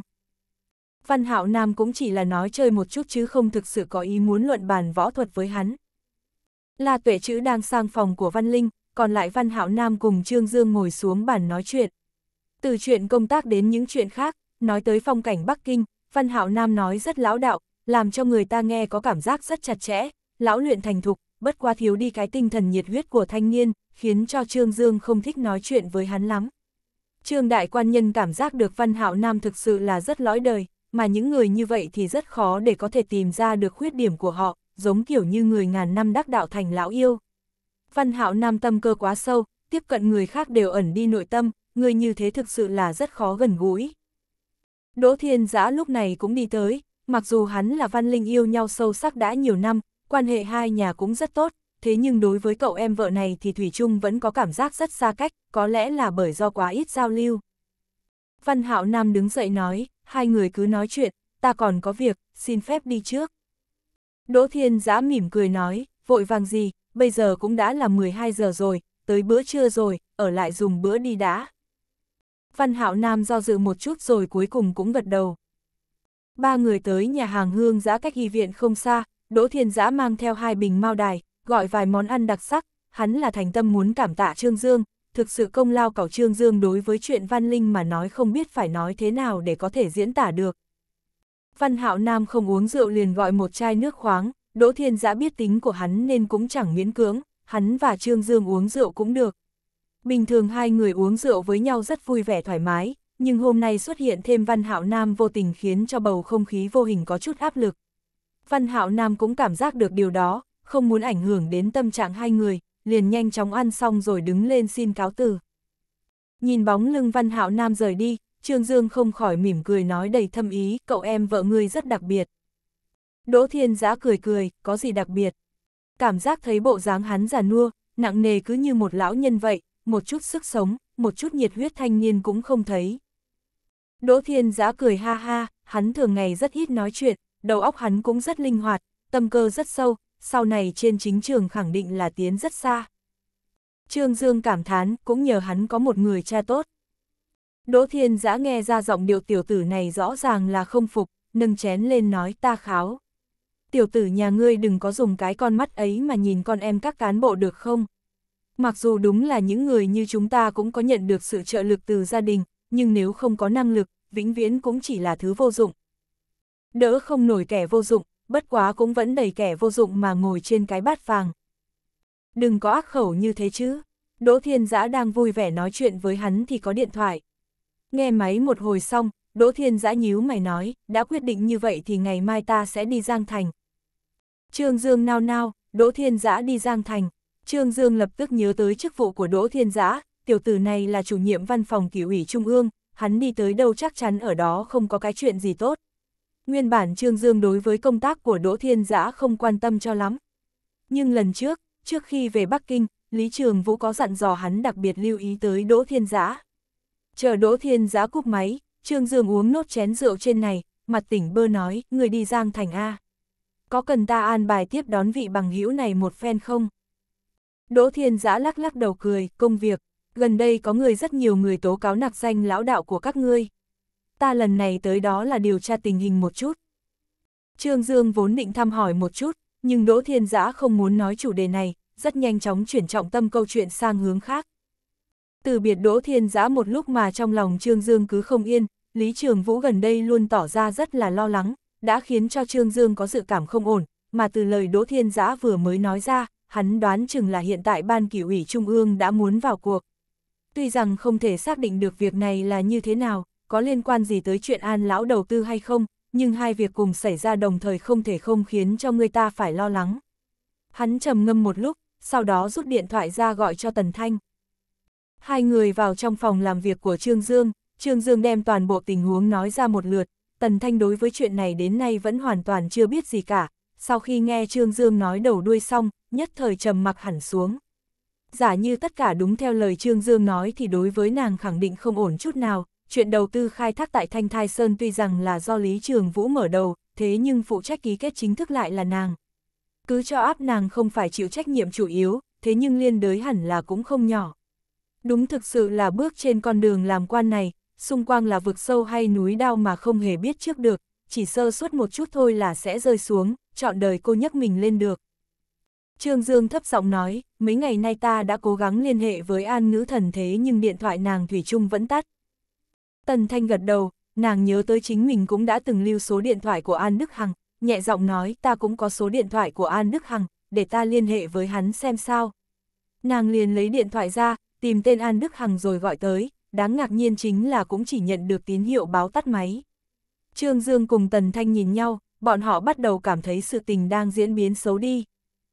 Trương Dương từ hai mắt Tần Thanh đã cảm nhận được sự lo lắng của nàng, hắn nhẹ giọng an ủi, người yên tâm, ta nhất định nhanh chóng làm rõ chuyện này, sẽ không để chuyện đầu tư tại Thanh Thai Sơn làm ảnh hưởng tới ngươi đâu. Cứ cho là nếu sự tình thực sự xấu, thì chuyện này đầu tiên cũng là từ ta mà ra, trách nhiệm hẳn phải là ta rồi tới Lý Trường Vũ. Tần Thanh đương nhiên minh bạch một điểm, nếu chuyện này truy cứu, mặc dù là Trương Dương khiên đầu, nhưng trách nhiệm của hắn không lớn, kể cả hắn có muốn gánh trách nhiệm cũng không có tư cách mà gánh. Hơn nữa chức vụ hiện tại của hắn cũng chẳng còn liên quan gì tới ban đầu tư sở thương mại huyện, về lý mà nói là hoàn toàn không dính dánh. Bất quá tâm huyết của hắn vẫn làm cho nàng cảm động, tuy rằng nàng vẫn luôn cố gắng né tránh hắn, nhưng cứ mỗi lúc có chuyện gì thì hắn luôn là người đứng bên nàng. Mặc dù Tần Thanh luôn biểu hiện ra ngoài là một nữ nhân kiên cường, nhưng sâu trong thâm tâm nàng vẫn chỉ là một nữ nhân, vẫn muốn tìm kiếm một bờ vai ấm áp, vừng trái để tựa vào. Mà chỉ có gần bên Trương Dương nàng mới cảm thấy một cảm giác an toàn, nàng thấp giọng thở dài nói Trương Dương. Ta đối với con đường làm quan này càng lúc càng thấy ảm đạm, mờ nhạt, đấu đá lục đục khiến ta cảm thấy vô cùng mệt mỏi. Cùng lắm thì mặc kệ cái chức chủ tịch huyện này. Đây là lần đầu tiên Trương Dương nghe được Tần Thanh thổ lộ sự không vừa lòng đối với chính trị, trong đó toát ra chút bi quan về tiền đồ bản thân nàng. Hắn cười cười nói, 27 tuổi đã là chủ tịch một huyện, con đường quan lộ của ngươi có thể nói là sáng lạn vô cùng, buông tay như vậy thì quá tiếc nuối đó. Hơn nữa chuyện này cũng không có nghiêm trọng như chúng ta tưởng tượng đâu, nhất định có thể thuận lợi mà vượt qua. Ân, không phải là hai cun ta cũng từng phải trải qua rất nhiều mưa bão sao. Ta phúc tinh chiếu giỏi, người cứ ở bên cạnh ta, nhất định sẽ không việc gì đâu. Khuôn mặt xinh đẹp cậu tần thanh đỏ lên, lần này thực sự áp không có gì để phản bác, vì đúng là trước dỡ trải qua mưa gió vẫn luôn có hắn bên cạnh, và kết quả vẫn luôn tốt đẹp. Có lẽ bây giờ, trong lòng nàng, chỉ cần có Trương Dương bên cạnh, hết thảy đều không có gì đáng sợ. Tâm tình của Tần Thanh lúc này tự nhiên trở lên rất mơ hồ, chờ mong và chút vui sướng, còn mang theo một chút lo sợ, hoang mang. Rõ ràng mà nhìn lại, tình cảm mà bản thân nàng dành cho Trương Dương ngày càng nhiều, ngày càng phát triển mãnh liệt, cứ tiếp tục như thế này, nàng sợ sẽ có một ngày bản thân nàng không làm chủ được ý chí của mình nữa. Suy nghĩ một hồi xong Tần Thanh nói, ngày mai ta sẽ quay trở lại Xuân Dương, xem xét kỹ lại tình hình một chút. Cũng tốt, có thời gian qua tìm Lý Trường Vũ hỏi han cụ thể xem thế nào. Nhưng Tần Thanh lắc lắc đầu, thực sự là tiểu tử này trên quan trường vẫn còn ấu trĩ lắm, loại thời điểm nhạy cảm như thế này, mỗi người chỉ cố gắng bảo vệ bản thân mình. Muốn tìm Lý Trường Vũ, liên thủ để vừa qua cơn bão này xem chừng hơi khó, nên nhớ rằng cả nàng và hắn đều là đối tượng liên quan trực tiếp, khả năng này gần như bằng không, Tần Thanh đạm nhiên cười nói cứ làm việc của mình, không thẹn với lương tâm là được. Trương Dương, hiện tại ta phát hiện ra đưa người rời khỏi sở thương mại huyện Xuân Dương là một quyết định cực kỳ sáng suốt. Từ lời này của Tần Thanh, Trương Dương ý thức được nàng quyết tâm không cho mình tham gia vào cái mớ phiền phức này nữa, hắn lẳng lặng nhìn Tần Thanh, trong đôi mắt nàng toát lên vẻ kiên định khiến cho lòng hắn sinh ra vô tận nhu tình. Trương Dương lớn mật vươn tay nắm lấy bàn tay trắng ngọc ngà của Tần Thanh. Tần Thanh không có nói gì, vẫn mặc cho hắn nắm tay mình, không có một chút dãy ruộng, không cự tuyệt. Hai người cứ yên lặng như thế một lúc, chẳng biết là qua bao nhiêu lâu Tần Thanh mới lên tiếng, có những việc nếu như không thể thay đổi thì không nên miễn cưỡng, nếu không sẽ giống như là bị rơi vào đầm lầy vậy, càng vùng vẫy càng chìm sâu. Người tốt nhất nên chọn lựa đứng ngoài. Trương Dương gần từng chữ, người có chuyện, ta vĩnh viễn không thể khoanh tay đứng nhìn. Đông Giang tại một căn tiểu lâu số 9 đường chữ tính, bí thư tỉnh ủy Cố Duẫn Chi đang ngồi lau lau chiếc bình sứ cổ của hắn, hắn thích siêu tầm đồ sứ, bất quá chỗ đồ của bản thân cũng không có thứ gì tinh phẩm. Thực ra mà nói với chức vụ của hắn, nếu như muốn thì có đem mở gian hàng trưng bày có lẽ cũng không hết, nhưng là Cố Duẫn Chi không tiếp nhận bất kỳ món quà tặng nào của ai bao giờ, tất cả đều là đồ do hắn tự tay siêu tầm. Cái bình đang cầm trên là cái mà hắn thích nhất bình sứ thanh hoa từ thời Minh, lúc trước hắn mua cái bình này với giá 2.000 tệ, bất quá chiếc bình có một chỗ bị mẻ làm cho giá trị của chiếc bình bị giảm đi rất nhiều, nhưng đại đa số đồ cố duẫn chi siêu tầm cũng đều có một chút hưu hao gì đó, hắn không thuộc tuyết người theo chủ nghĩa hoàn hảo, có lẽ hắn cho rằng khiếm khuyết một chút cũng là một loại vẻ đẹp đặc biệt. Cố dài đồng bưng ấm trà ngon vừa mưa oi pha tới thư phòng của cố duẫn chi, nhẹ nhàng gõ cửa một tiếng, nghe thấy tiếng của cha nàng mới đẩy cửa bước vào. Cố duẫn chi cẩn thận đặt cái bình xứ vào chỗ của nó, sau đó trở lại bàn làm việc ngồi xuống, tiếp nhận chén trà tư tay nữ nhi, chậm rãi thưởng thức một chút rồi nói, gần đây ngươi cũng bận rộn nhỉ, đã vài ngày rồi mưa oi trông thấy ngươi đó.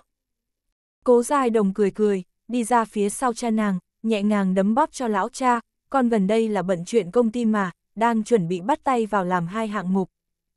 Cố Duẫn chỉ biết nữ nhi chứa giờ đối với kinh doanh vốn chẳng quan tâm cho lắm, tự nhiên dạo này thái độ lại rất khác, thấp giọng nói, nghe đệ đệ ngươi nói, ngươi muốn mở quán ăn ở Bắc Kinh à.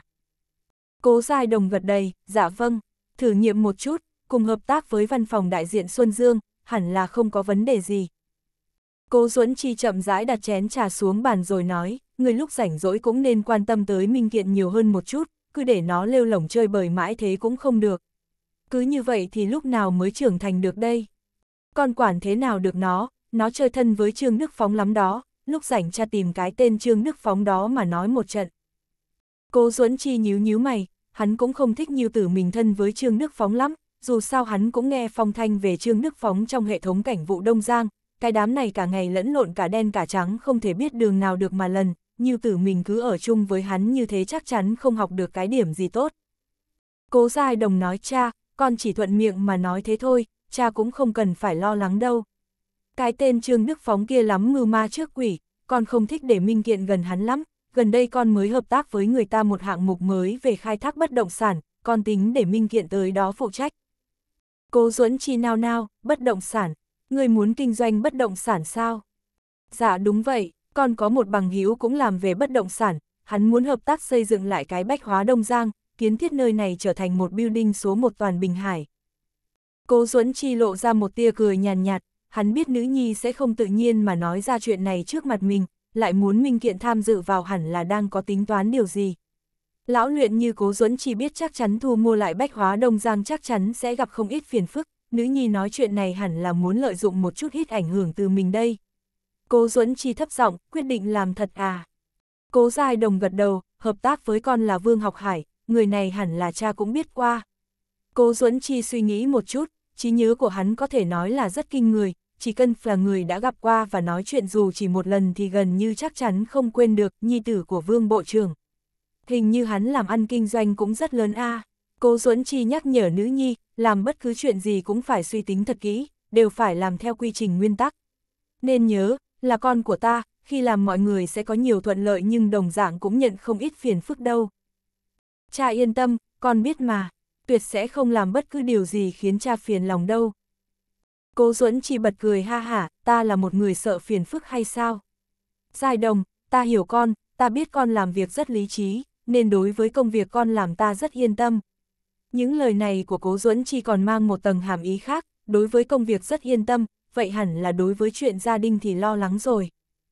Cố Giai Đồng cũng cảm nhận được cha bắt đầu hướng câu chuyện sang chuyện gia đình của mình, lập tức tìm cách lảng tránh, nàng nhẹ giọng nói cha, con cũng mới nghe nói, chuyện đầu tư khai thác tại Thanh Thai Sơn mới tạm dừng, nếu như bên Hồng Kông rút đầu tư, còn có vài bằng hữu muốn tham gia vào đó. Cố Giai Đồng nói bóng nói gió, nhưng ý chính là muốn thăm dò việc này. Cố Duẫn Chi nói, sự kiện này rất phức tạp, người tốt nhất đừng nên tham gia vào. Hắn nói rất quyết đoán, ngữ khí ấy khiến cho giai đồng nhịt xong ý thức được rõ ràng tính nghiêm trọng của vấn đề, cha. Có chuyện gì sao? Cố Duẫn Chi không muốn nói nhiều, lắc đầu nói, việc của ngươi là làm kinh tế, chuyện trên quan trường đừng quan tâm tới làm gì. Không cần quan tâm cũng không nên biết, hắn không tin có bằng hữu nào của con gái mình lại quan tâm đến cái chuyện đầu tư vào Thanh Thai Sơn lúc này, khẳng định là có quan viên nào tìm nữ nhi, muốn từ nó thám thính một chút tình hình đây. Cố Giai Đồng đối với câu trả lời vừa rồi của cha thì chưa hài lòng, nhỏ giọng hỏi thêm, cha, có phải An Chí Viễn có vấn đề gì không? Cố Duẫn Chi mỉm cười, việc này đã có ban kỳ ủy trung ương điều tra, trước khi sự tình sáng tỏ thì làm sao ta biết được. chương 914, Phong Mãn Lâu Chẳng bao lâu sau chuyện ban kỳ ủy trung ương cử người xuống danh thành điều tra cũng đến tai hứa thường đức. Sau khi biết tin tức này, hắn liền nhốt mình trong thư phòng vừa lặng lẽ hút thuốc, vừa suy nghĩ đối sách. Chuyện An Chí Viễn ngừng việc đầu tư thì cũng chẳng có gì đáng ngại lắm, mà điều làm hắn lo ngại nhất lại là nguồn gốc của số tiền đầu tư kia.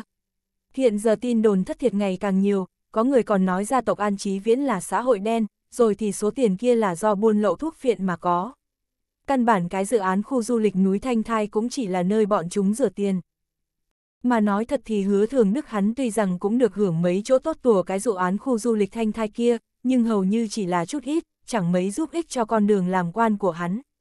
Điều làm hắn quan tâm nhất lại chính là vấn đề của Lý Trường Vũ. Có thể nói Lý Trường Vũ là người được hưởng lợi nhiều nhất từ cái chiến tích đó, nhưng hiện giờ chính điều đó lại khiến Lý Trường Vũ lầm vào khốn cảnh khó thoát.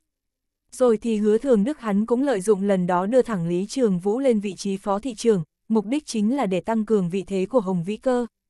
Và cũng chỉ có Hồng Vĩ Cơ với Lý Trường Vũ làm thành tổ hợp thì mới có khả năng ngăn chặn Lý Quốc Chính một tay thâu tóm quyền lực, giảm bớt gánh nặng cho hắn. Thế nhưng hiện tại thì sao? Dự án núi Thanh Thai đột nhiên sinh biến, đó chẳng phải là cơ hội tốt để người khác lợi dụng, triệt hạ thế lực, chặt vây cánh hắn hay sao? Chính vì vậy mà hứa thường đức hắn đang phải lo lắng, suy nghĩ đối sách tiếp theo. Hiện giờ đến cả ban kỷ ủy trung ương đã nhúng tay vào, không cần phải suy nghĩ nhiều hắn cũng có thể khẳng định, có người đang ở phía sau dở trò làm nháo đại chuyện này lên. Nghĩ vậy, hắn liền chậm rãi thu nhỏ phạm vi nghi ngờ lại, cuối cùng, người hắn nghi ngờ nhất cũng chỉ có một mình gã cố duẫn trí. Sự nghi ngờ này của hắn cũng không phải là vô căn cứ.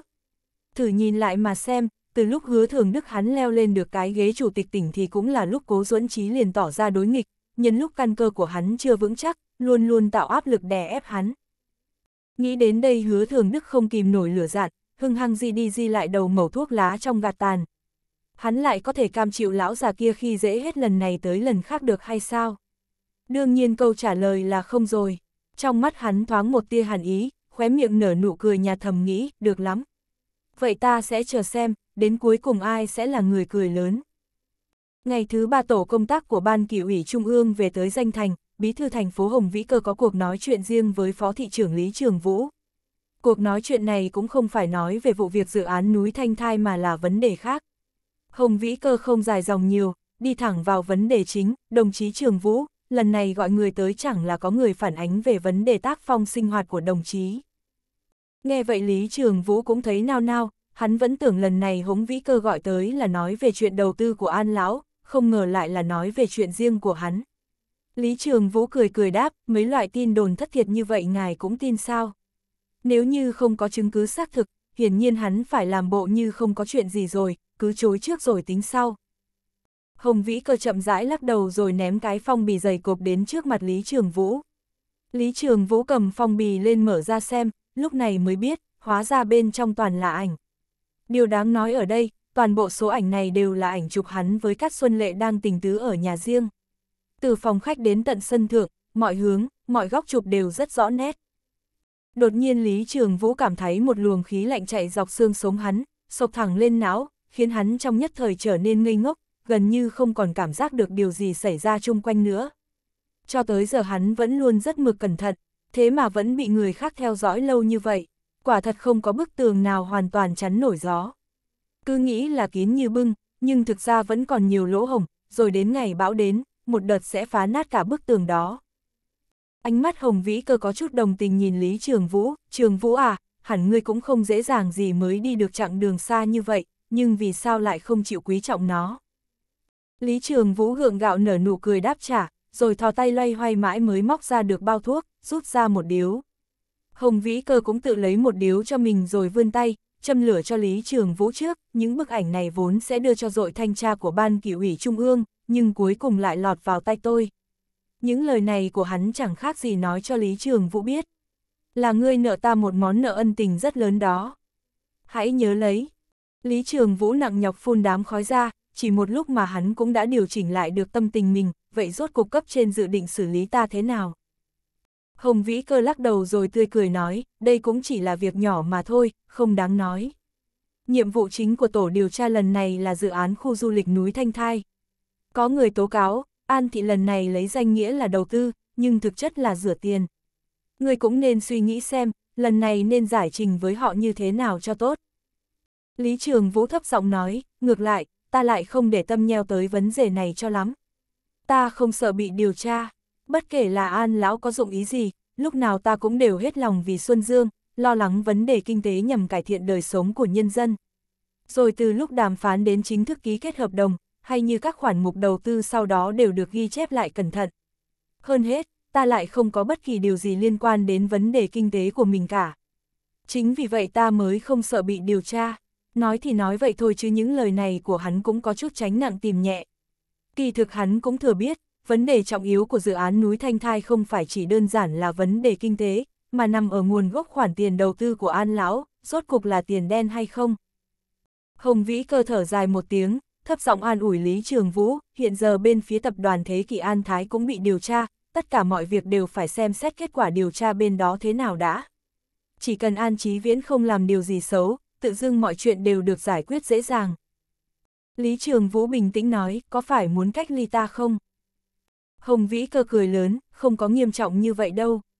Sự việc còn chưa điều tra rõ ràng, hẳn là chưa có vấn đề gì lớn lắm. Yên tâm đi, ngươi và ta đèo bây ét, đảng sẽ không xử oan uổng một đồng chí tốt nào đâu. Nửa câu cuối hắn cũng không nói hết ra, nếu không sai thì chắc chắn sẽ là, cũng sẽ không bỏ qua bất kỳ phần tử xấu nào. Chấm, chuyện hot. Sau khi ta tầm, Lý Trường Vũ cũng không về nhà mà trực tiếp đến thẳng chỗ Cát Xuân Lệ. Theo thói quen, trước khi tới hắn luôn luôn gọi điện báo trước nàng ta một tiếng. Thấy hắn hôm nay đột nhiên lại đến vào giờ này, Cát Xuân Lệ cũng tỏ ra ngạc nhiên mừng rỡ, ôn nhu giúp hắn cởi giày đi dép vào nhẹ giọng nói, Trường Vũ, em vừa mới đun nước nóng, anh vào tắm một chút đi, em đi nấu cơm bây giờ. Lý Trường Vũ không nói gì mà chỉ nắm chặt hai tay Cát Xuân Lệ lại, trong mắt tràn ngập nhu tình nhìn thẳng mắt nàng ta.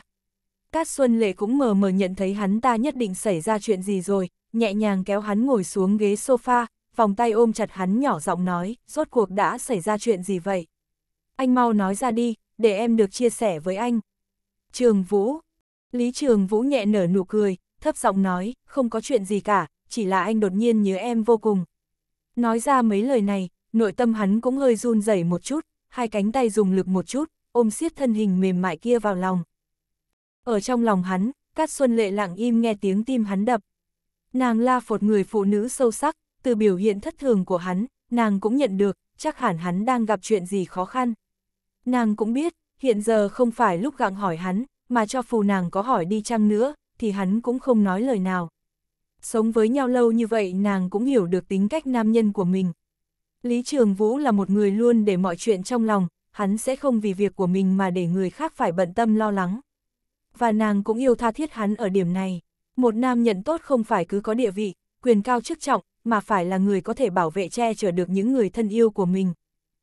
Lý Trường Vũ nhẹ hôn lên mái tóc dài của Cát Xuân Lệ, đêm nay anh muốn ở đây, không muốn rời xa em nữa. Cát Xuân Lệ nhẹ gật gật đầu rồi càng rút sâu vào lòng hắn hơn. Nàng nhỏ giọng nói, ở đây vĩnh viễn là nhà của anh. Hôm sau, Lý Trường Vũ vừa mở cửa phòng làm việc, liền thấy mấy người đã chờ sẵn trong phòng từ lúc nào. Hắn chậm rãi đóng cửa phòng lại, một lúc sau cửa phòng lại mở ra, Lý Trường Vũ mặt mày ủ rũ chậm rãi đi ra cùng đám người kia. Lý Trường Vũ được đưa thẳng tới nhà khách ở ngoại ô phía bắc thành phố. Với chức phó thị trưởng như hiện giờ của Lý Trường Vũ thì đáng lý ra muốn bắt giữ hắn thì buộc phải thông qua ban kỷ ủy của thành phố, cũng như ủy ban thường vụ thành phố. Mà hơn hết, hôm qua chính miệng Hồng Vĩ Cơ đã tiết lộ một chút tin tức, chưa thấy dấu hiệu gì buộc hắn phải bị cách ly, điều này khiến Lý Trường Vũ hắn an tâm hơn rất nhiều. Nhưng hiện giờ là ban kỷ ủy Trung ương trực tiếp tiến hành điều tra, hiển nhiên thủ tục được rút gọn đi rất nhiều.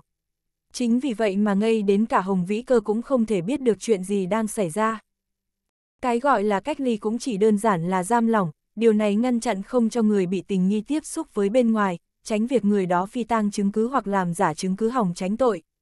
Bên cạnh đó Hội đồng Thanh tra kỷ luật sẽ tiến hành điều tra, tra hỏi người bị tình nghi. Nhưng điều khiến tổ công tác của cựu ủy Trung ương phải nhíu mày khi thấy Lý Trường Vũ tuy bị bắt bất ngờ như vậy nhưng vẫn tỏ ra hết sức bình tĩnh, trả lời rành mạch rõ ràng từng câu hỏi. Hơn hết, hắn cũng không mắc sai lầm gì tổng vụ mời gọi an lão đầu tư vào Xuân Dương, mọi thứ đều trong sạch, rõ ràng, điều này chứng tỏ hắn vẫn là một người đảng viên cộng sản hợp cách. Tin tức Lý Trường Vũ bị bắt giữ cách ly để điều tra rất nhanh kiền truyền tới Bắc Kinh. Lúc Trương Dương biết được tin tức này liền gọi điện hỏi Cố Giai Đồng xem tình hình thực tế là sao. Cố Giai Đồng cũng lo lắng Trương Dương bị liên lụy nhưng dò hỏi thế nào cũng không thể moi được chút tin tức nào từ cha nàng. Nghĩ đi nghĩ lại nàng chỉ còn biết hỏi thúc thúc Hạ Bá Đạt. Hạ Bá Đạt cũng khá quan tâm tới vụ việc lần này của Ban Kỷ ủy Trung ương nên cũng nắm rõ tình hình sự việc hiện tại. Cố Giai Đồng đã trực tiếp gọi điện tới hỏi thì hắn cũng thành thật nói lại mọi việc cho nàng biết. Nếu như tin tức Lý Trường Vũ bị bắt giữ cách ly là chính xác, Trương Dương liền nghĩ ngay tới Tần Thanh. Lần ký kết dự án lần này Tần Thanh cũng góp phần không nhỏ, so ra thì trách nhiệm nàng phải gánh chịu cũng chẳng thua kém gì Lý Trường Vũ. Nghĩ đến đây hắn liền thấp giọng hỏi, Tần Thanh không bị sao chứ? Thấy Trương Dương đến giờ vẫn không chịu nghĩ đến sự an nguy của mình, mà cứ luôn miệng hỏi về Tần Thanh, lòng cố dai đồng không khỏi thắt lại một chút, thế nhưng nàng vẫn cố giữ ngữ điệu mình như cũ, nàng chậm rãi nói, đến giờ vẫn chưa có bằng chứng xác thực nào chứng tỏ bọn họ có những điều khuất tất trong dự án đầu tư khu du lịch núi Thanh Thai. Hơn hết bên phía Hồng Kông vẫn chưa có động tính gì, bởi vậy vẫn còn đang trong quá trình điều tra, chưa có kết luận cuối cùng. Nhưng ngươi yên tâm, ta đã hỏi qua, chuyện này chắc hẳn sẽ không liên quan đến ngươi, hiện giờ điều ngươi cần làm nhất là không nên tiếp xúc qua lại với họ nữa, tránh tạo thêm phiền phức cho cả hai phía. Chị Giai Đồng, Lý Trường Vũ cùng Tần Thanh đều là những người quan trọng của em. Chị xem, có biện pháp nào giúp bọn họ thoát khỏi đợt phong ba lần này hay không? Cố Giai Đồng trầm mặc một lúc sau mới thập giọng nói, trừ khi chứng minh được khoản tiền đầu tư của An Lão không có vấn đề gì, thì mọi chuyện sẽ được giải quyết dễ dàng. Nghe câu đó xong Trương Dương liền trầm ngâm một lúc lâu sau cũng không nói gì. Cố Giai Đồng đợi mãi suốt ruột gọi tên hắn mấy lần, mới thấy Trương Dương trả lời, em muốn đi Hồng Kông một chuyến. Sở dĩ Trương Dương quyết định đi Hồng Kông là bởi vì Trương Dương cho rằng, lần này phải nghe chính miệng An Lão trả lời xem rốt cuộc là có chuyện gì xảy ra. Cố Giai Đồng cũng hiểu vì sao Trương Dương có quyết định như vậy, nàng cũng không ngăn cản mà ngược lại, còn giới thiệu cho Trương Dương một người Vương Học Hải. Ở Bắc Kinh, Vương Học Hải cũng là một người khá tiếng tăm, bởi vậy mà chỉ một ngày một đêm liền giải quyết xong xuôi thủ tục cho Trương Dương đi Hồng Kông. 11 giờ tối, máy bay đáp xuống sân bay Khải Đức ở phố Cửu Long thuộc Hồng Kông. Chỉ 5 năm gần đây Hồng Kông mới lại trở về bản đồ của Trung Quốc. Trương Dương xuống máy bay, đảo mắt nhìn một lượt khung cảnh đầy xa lạ nơi đây, mọi người xung quanh đều nói tiếng Quảng Đông, càng hiến Trương Dương thấy xa lạ hơn. Lúc ra khỏi sân bay, trời cũng mưa nhẹ, Trương Dương vẫy vẫy tay gọi một chiếc taxi gần đó lại, dùng tiếng phổ thông nói, người an hem, cho ta đến khách sạn Phú Lệ Hoa. Gã tài xế thò đầu ra nhìn Trương Dương một lượt, tuy đã sát nhập lại được 5 năm rồi nhưng giờ cũng không ít người vẫn khinh thường đồng bào người đại lục. Hắn cũng dùng tiếng phổ thông trả lời lại, có đô la Hồng Kông không? Trương Dương cũng nghe ra ý vị khinh thường trong lời nói của hắn. Lạnh lùng chừng mắt nhìn lại hắn nói, ta có tiền của mẹ ngươi. Ít nói mấy lời vô nghĩa đó đi, nhanh lái xe đến khách sạn Phú Lệ Hoa, bằng không đừng trách ta nóng tính. Người mạnh mẽ thì đến chỗ nào cũng xài được, thấy biểu hiện hung thần ác sát của Trương Dương, gã tài xế cũng không dám nói gì khác, thành thật cho xe chạy. Thế nhưng hắn vẫn lẩm bẩm bằng tiếng Quảng Đông, người đại lục đúng là chẳng có chút văn hóa gì cả. Trương Dương nghe không hiểu hắn đang nói cái gì, mà nếu có biết Trương Dương cũng chẳng thèm chấp nhận hắn làm gì. Lúc tới khách sạn Phú Lệ Hoa, Trương Dương liền đưa chứng minh nhân dân ra, rất nhanh người quản lý liền đưa chìa khóa phòng 1208 cho hắn. Vương Học Hải cũng có công ty ở Hồng Kông, bởi vì còn phải nhờ vào cố giai đồng nên mới an bài cho Trương Dương khá chu đáo, phòng trọ cũng được đặt trước cho Trương Dương. Lên phòng, Trương Dương liền tắm gội lại một lượt, một lúc sau thì chuông điện thoại vang lên, người gọi tới là Khẩu Mậu Thành hiện đang thay mặt Vương Học Hải quản lý công ty ở Hồng Kông. Từ giọng nói, Trương Dương cũng đoán ra Khâu Mậu Thành là người khá thành thục cùng cẩn trọng. Đầu tiên hắn ân cần hỏi thăm Trương Dương đi lại có thuận lợi hay không, có vừa ý với phòng ốc ở đó hay không. Trương Dương lễ phép nói lời cảm ơn, liền sau đó nói muốn cùng hắn gặp mặt một chút. Điều này cũng khiến Khâu Mậu Thành vô cùng ngạc nhiên, dù sao hiện giờ cũng là 12 giờ đêm, thực sự không tiện cho lắm. trầm ngâm do dự một lúc rồi hắn cũng nhận lời tới khách sạn gặp Trương Dương. Nửa tiếng sau, như đã hẹn, Khâu Mậu Thành tới quán cà phê dưới khách sạn Phú Lệ Hoa, còn Trương Dương đã ngồi đó chờ hắn từ lâu. Sở dĩ Trương Dương muốn sớm gặp Khâu Mậu Thành cũng bởi lẽ ở đất Hồng Kông thì Trương Dương chẳng khác gì người mù, cũng chẳng biết là nên bắt đầu từ đâu. Hiện giờ Trương Dương cần một người dẫn đường, hay một người có thể chỉ điểm hắn nên làm gì, đi đâu, gặp ai. Khâu Mậu Thành năm nay 30 tuổi, vóc người thấp bé, da ngăm đen, cùng cái khuôn mặt dài dài đặc trưng của người Quảng Đông, là một người giỏi giang lanh trí trong vấn đề kinh doanh. Sau khi giới thiệu bản thân một chút, hắn chậm rãi ngồi xuống ghế sofa đối diện với Trương Dương mỉm cười nói, thật không ngờ, Trương Tiên Sinh lại trẻ tuổi như vậy. Giám đốc Phương đã dặn qua, tất cả mọi việc ăn uống ngủ nghỉ của Trương Tiên Sinh đều do chúng ta an bài. Hơn hết, ta thấy bây giờ cũng khá muộn, ngài lại mới đi đường xa, tốt hơn hết là nên nghỉ ngơi tính dưỡng một chút cho khỏe. Trương Dương vội vàng nói, khâu tiên sinh, ta tới Hồng Kông là có chút chuyện, ngài cũng không cần khách khí quá như vậy. Khâu Mậu Thành vẫn giữ nụ cười nhạt đầy tiếu ý trên mặt, biểu hiện của hắn rất khôn ngoan, biểu hiện cùng với lời ăn tiếng nói của hắn khẽ én người khác không cảm giác lạnh lùng, nhưng cũng không khiến người khác cảm giác hắn là người dễ gần. Loại cảm giác này khẽ én người khác luôn thấy có khoảng cách nhất định với hắn. Còn Trương Dương tuy mới bước chân vào quan trường chưa lâu, thế nhưng cũng trải qua khá nhiều sóng gió, bởi vậy mà hiện tại trông bên ngoài thì Trương Dương vẫn trầm ổn bình tĩnh như thường. Nhưng thực ra trong lòng hắn luôn có tảng đá đè nặng, không biết đến khi nào mới chút bỏ được. Trương Dương nói, chẳng là ta muốn nhờ khâu tiên sinh giúp ta tìm một người. Ai vậy? An Chí Viễn. Khâu Mậu Thành hơi nhíu mày một chút, danh tiếng của An Chí Viễn tại Hồng Kông không hề nhỏ chút nào, đếm trên đầu ngón tay cũng không quá mấy người ngang tầm với siêu cấp phú hảo như hắn. Mà gần đây An ra gặp chuyện không may càng làm rung động cả giới thương nhân Hồng Kông, An lão tiên sinh thì bị bệnh nặng phải nhập viện. Người con cả An Đức Minh Nguyên thanh tra cấp vậy mà hiện giờ lại bị bên điều tra tội phạm bắt giam, tập đoàn An Thái giờ được người con thứ hai An Đức Phong tạm thời đứng ra điều hành, lão Tam An Đức hiện phụ trách vấn đề ngoại giao của tập đoàn giờ vẫn còn đang ở bên Mỹ. Còn đứa nghịch tử thứ tư An Đức Uyên thì lúc còn trẻ gây chuyện rồi cãi vã với An Chí Viễn. Cuối cùng bị An Chí Viễn từ mặt đoạn tuyệt cha con, hắn một thân một mảnh sang Đài Loan sinh sống, 20 năm nay cũng không có liên lạc với An ra nữa. Lão ngu An Đức Hằng thì Trương Dương biết mặt, thường ngày hắn cũng ít để ý đến chuyện làm ăn của gia đình, chỉ mới gần đây mới nhận nhiệm vụ quản lý dự án đầu tư khu du lịch núi Thanh Thai. Khâu Mậu Thành nhẹ giọng khuyên, gần đây An gia gặp phiền toái rất lớn, người có nghe nói tới không? Trương Dương chậm rãi gật đầu. Khâu Mậu Thành lại nói tiếp, An Đức Minh bị nghi ngờ là có cấu kết với xã hội đen nên đang bị bắt giữ điều tra làm rõ. Tuy rằng đến giờ vẫn chưa có chứng cứ xác thực nhưng cả An gia vẫn nằm trong diện tình nghi và cảnh sát vẫn đang giáo giết điều tra tìm ra chứng cứ. Hơn hết, An Chí Viễn thì hết lần này đến lần khác tuyên bố mình bị bệnh, điều này càng khiến An Gia Lâm vào cảnh khốn khó hơn. Ông ấy đang nằm ở bệnh viện nào? Gia bác, khâu tiên sinh có thể đưa ta tới đó được không? Khâu Mậu Thành cười nói, hiện giờ là 12 giờ hơn, người đại lục đều thích đi thăm bệnh vào lúc này sao? Nghe Khâu Mậu Thành nhắc nhở, Trương Dương cũng xấu hổ gượng cười.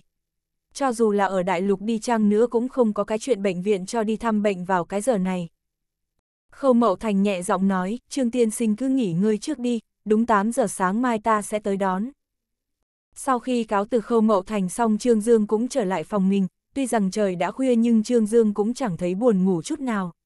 Trong lòng hắn chỉ nghĩ đến một điều, đó là phải hỏi bằng được An Lão xem có đúng hay không hắn chỉ lợi dụng dự án khu du lịch núi Thanh Thai để rửa tiền. Nếu không thì cũng phải hỏi cho rõ ràng xem rốt cuộc đã xảy ra chuyện gì. Lúc Trương Dương đang nằm suy nghĩ thì cố Giai Đồng gọi điện thoại tới, từ đầu tới giờ nàng vẫn luôn lo lắng cho Trương Dương. Tuy rằng Trương Dương không nói nhưng nàng cũng biết được mục đích Trương Dương tới Hồng Kông không ngoài chuyện gặp mặt An Lão Tiên Sinh. Vẫn biết là không liên quan đến mình nhưng Trương Dương vẫn sang Hồng công cốt để tìm bằng chứng chứng minh sự trong sạch của Lý Trường Vũ và Tần Thanh. Điều này chứng tỏ Trương Dương là một người có trách nhiệm, dám làm dám chịu, chứ không như mấy gã cán bộ nhà nước khác, suốt ngày chỉ lo bo bo giữ mình. Đến giờ cố Giai Đồng cũng không hiểu rõ con người của Trương Dương cho lắm, bởi lẽ Trương Dương khác hoàn toàn với những người nàng đã gặp trước đây. Nàng cũng chẳng mấy quan tâm gì tới việc đấu giá tranh chấp của trốn quan trường, nàng chỉ quan tâm tới mỗi mình Trương Dương, Trương Dương, Hồng Kông không giống như đại lục. Tuy rằng đã được trả lại nhưng vẫn nằm tổng quyền quản lý của người Anh. Ngươi nhìn vạn lần không được để xảy ra chuyện gì, bằng không con đường làm quan của ngươi hay tiền đồ của ngươi đều sụp đổ hoàn toàn. Tuy rằng cách nhau cả ngàn dặm xa xôi, Trương Dương vẫn cảm nhận được tình cảm của cố giai đồng dành cho mình. Trương Dương không khỏi cảm thấy cảm động cùng ấm áp, thấp giọng nói, chị cứ yên tâm, em tuyệt đối sẽ không gây chuyện, chỉ cần gặp được An Lão, hỏi vài câu xong là sẽ về Bắc Kinh ngay. Cố Giai Đồng nhỏ giọng nhắc nhở, An ra xảy ra chuyện lớn như vậy, chắc chắn họ sẽ bị cảnh sát giám sát chặt chẽ. Dù chỉ là đến thăm An Lão tiên sinh đi chăng nữa, nhưng cũng phải cẩn thận, nhất thiết không được rước hỏa vào thân đâu đó. Yên tâm đi, chắc sẽ không có chuyện gì đâu. Cố Giai Đồng cũng không chỉ lo lắng háo, quả thật An ra xảy ra biến cố quá lớn, gần như toàn bộ thành viên của gia tộc đều bị cảnh sát giám sát chặt chẽ. Trước tình hình đó, An Lão lại ra quyết định, toàn bộ người trong gia tộc đều không được sử dụng điện thoại, cũng như liên hệ với bên ngoài, để tiện việc điều tra của cảnh sát, và cũng tránh làm liên lụy tới người khác. An Chí Viễn lặng lặng nằm trên giường bệnh nhìn ra khoảng không người cửa sổ ngập tràn ánh nắng. Hôm nay thời tiết khá đẹp, trời nắng, bầu trời quang đãng sáng rực rỡ, vậy mà An Chí Viễn lại không cảm thấy sự ấm áp hay thanh thản chút nào, trong lòng hắn vẫn nặng trĩu, u ám mãi không thôi. Người con trai thứ năm của hắn An Đức Hằng đang ngồi bên cạnh gọt táo cho hắn. Trong bàn tay của An Đức Hằng vừa to vừa dày khá thô, vậy mà hắn gọt táo lại khá linh hoạt, chỉ loáng một cái đã gọt xong cả quả táo, dây vỏ táo cứ liền một mạch không hề đứt quãng chỗ nào. Gọt xong, hắn bổ quả táo ra làm bốn, tách hột rồi đưa cho cha, mỉm cười nói cha, ăn táo đi. An Chí Viễn quay đầu lại, cầm miếng táo cắn một miếng nhỏ, rồi bỗng nhiên lại nở nụ cười. An Đức Hằng cũng thấy kỳ quái, chẳng hiểu cha cười điều gì nữa, cha cười cái gì vậy? An Chí Viễn cười nói, ta đang cười chính bản thân mình, ta vẫn tưởng mình là chủ cái gia tộc này, vẫn tưởng mình hiểu hết tính cách con trai mình. Nhưng thật không ngờ, đứa lớn khiến ta yên tâm nhất, tin tưởng nhất lại là xã hội đen. Lão dừng lại một chút rồi lại nói tiếp, An ra chúng ta thiếu tiền sao? Hắn thiếu tiền, tại sao lại không mở miệng hỏi ta? Cớ sao phải đi theo con đường này? Người có BS tại sao ta một thân một mình tới Hồng Kông, dốc sức làm việc, cố gắng vươn lên để làm gì không? Chẳng qua là ta muốn xóa đi cái quá khứ nhơ nhúc kia. An Đức Hằng thấp giọng nói cha, vẫn chưa có kết luận chính xác về chuyện đó, chắc có lẽ đại ca bị người khác hãm hại. Từ trước tới giờ đại ca luôn là người cẩn thận, những chuyện mạo hiểm như vậy, hắn sẽ không làm. An Chí Viễn cười lạnh nói, làm việc cẩn thận mà để bên điều tra tội phạm nhúng tay vào sao?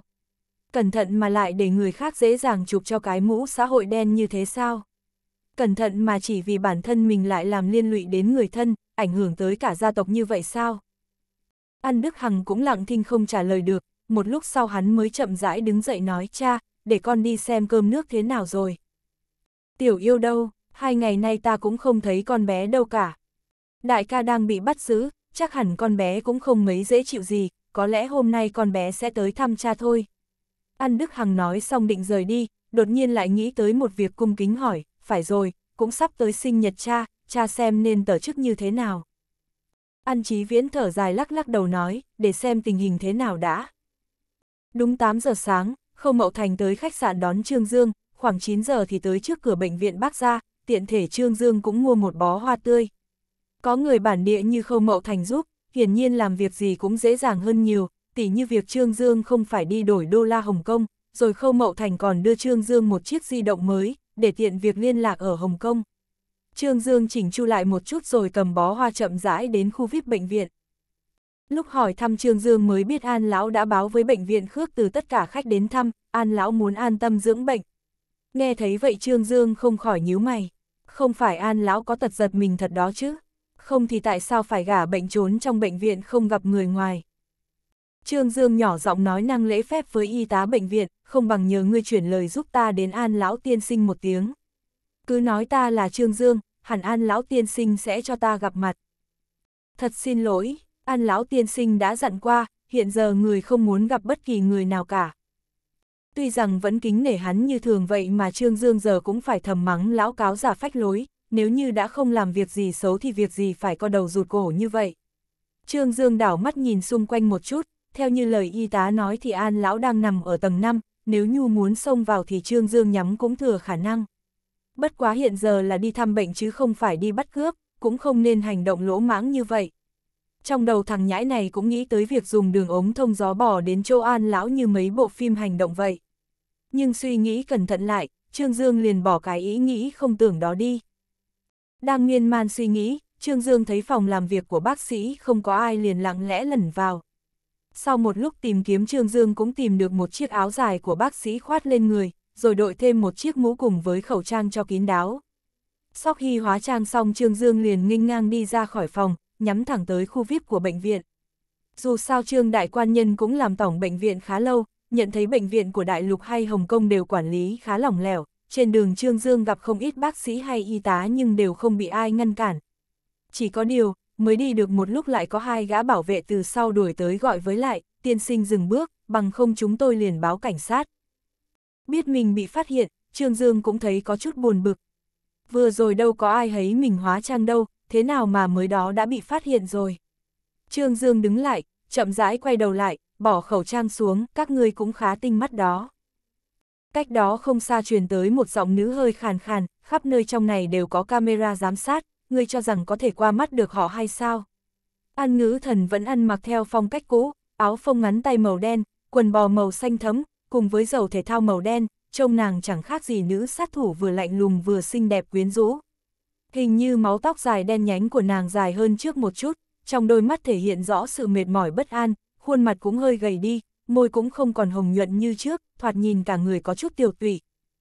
Lúc nhận ra Trương Dương, đôi mắt đẹp không tự chủ được mà sáng ngời hẳn lên, hiển nhiên nàng cũng không ngờ Trương Dương đột nhiên xuất hiện ở đây, đột nhiên lại xuất hiện trước mặt mình. Bỗng nhiên nàng mới nhận ra bấy lâu nay nàng vẫn luôn mong nhớ hắn, thế nhưng lại không thể nói ra thành lời được.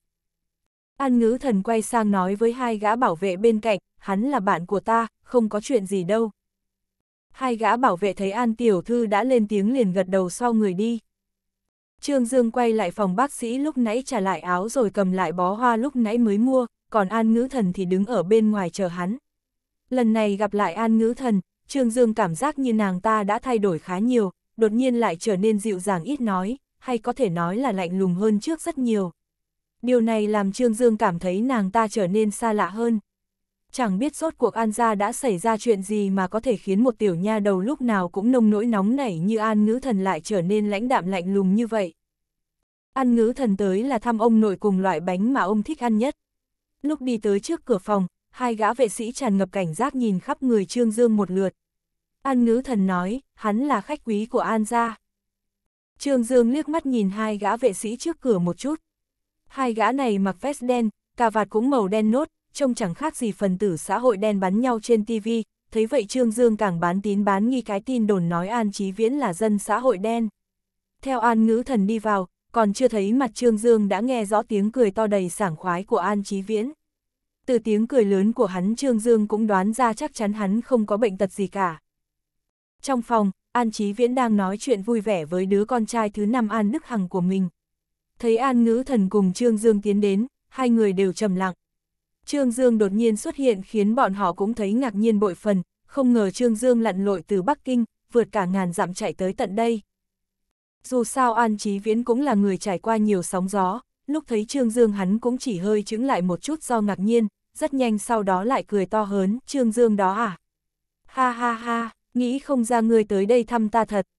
Trương Dương đem bó hoa trong tay đưa qua cho An Ngữ Thần cười tủm tỉm nói, nghe nói An Lão bị bệnh, ta gọi điện mãi cho ngài nhưng cũng không được, thật sự trong lòng lo lắng bội phần. Bởi vậy mới vội vàng bắt máy bay chạy tới tận đây thăm ngài đó. Thằng nhãi này vẫn không bỏ được cái tính cợt nhã như ngày nào. An Chí Viễn cũng thừa biết tính tình của Trương Dương, mà từ tận đáy lòng hắn cũng không coi Trương Dương là vãn bối, vui vẻ nói, ngồi đi. An ngữ thần đưa túi bánh sầu riêng vẫn còn nóng đến trước mặt ông nội. An Chí Viễn khoát tay nói, ta chưa muốn ăn tiểu yêu đi pha trà mời Trương Dương đi. An Đức Hằng đứng lên, chào hỏi Trương Dương một chút rồi xin cáo từ, nói phải về công ty xử lý công chuyện. An Chí Viễn kêu cháu gái ngữ thần đi kéo mấy tấm rèm cửa sổ lại. Trương Dương có chút kỳ quái nhìn lại An Lão, trời nắng đẹp như vậy, chẳng biết vì sao hắn lại đi kéo rèm cửa, chẳng lẽ thật sự hắn có bệnh, không thích nắng. Lúc này An Chí Viễn mới thấp giọng nói, nói vậy chứ ta trốn trong bệnh viện cũng chẳng được yên ổn là mấy. Nào là bên đội điều tra tội phạm của cảnh sát, rồi thi bên cục công thương cũng tiến hành điều tra làm rõ vấn đề kinh tế của ta, lúc nào cũng cho người theo dõi sát sao hỏng tim ra bằng chứng phạm tội của ta. Tất cả bọn chúng đều muốn đẩy ta xuống vực sâu muôn trượng mãi mãi không được siêu sinh đây mà. Nụ cười vui vẻ trên mặt hắn đã biến mất, thay vào đó là khuôn mặt đăm chiêu đầy giận dữ. Hắn chỉ chỉ ra ngoài của sổ lạnh nhạt nói, ta dám khẳng định hiện tại đang có người theo dõi bọn ta, nhất cử nhất động của bọn ta đều bị bọn họ giám sát. chương 95, ở Hồng Kông. Trương Dương tiếp nhận chén trà từ tay An Ngữ Thần, nhấp một ngụm rồi nói thiết quan âm thường hảo hạng.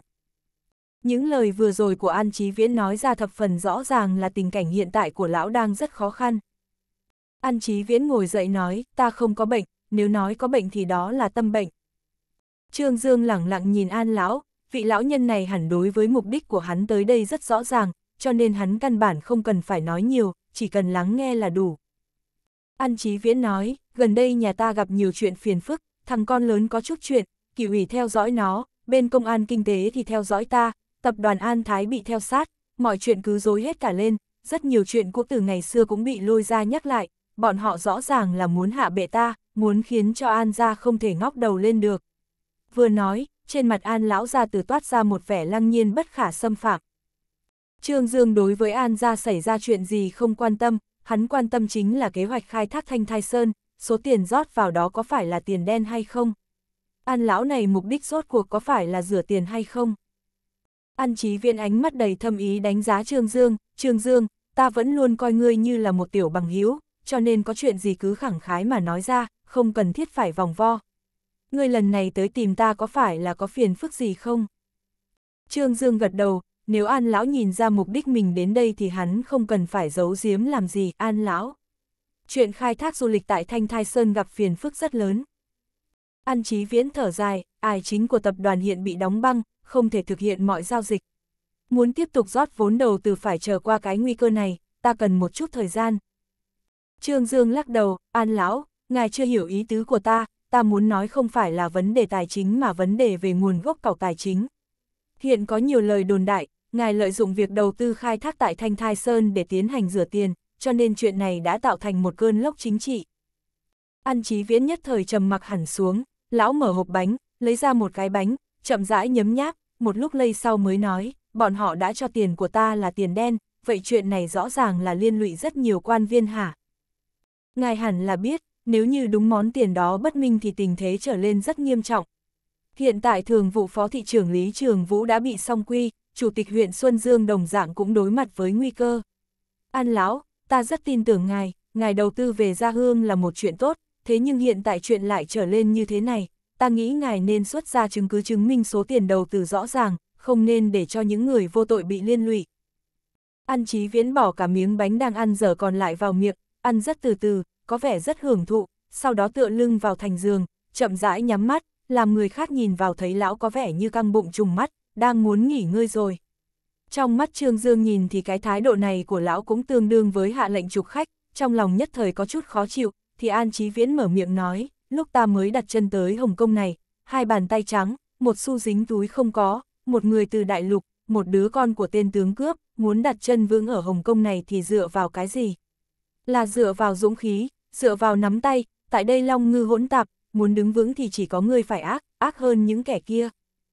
An Chí Viễn vẫn nhắm hai mắt, tựa hồ đang suy nghĩ về quá khứ xa xôi của lão, lão từng trải qua những năm tháng tranh đấu ngoan cường, hắn dựa vào nắm tay, dựa vào thanh đao, mạnh mẽ tạo ra một con đường bằng mồ hôi và máu.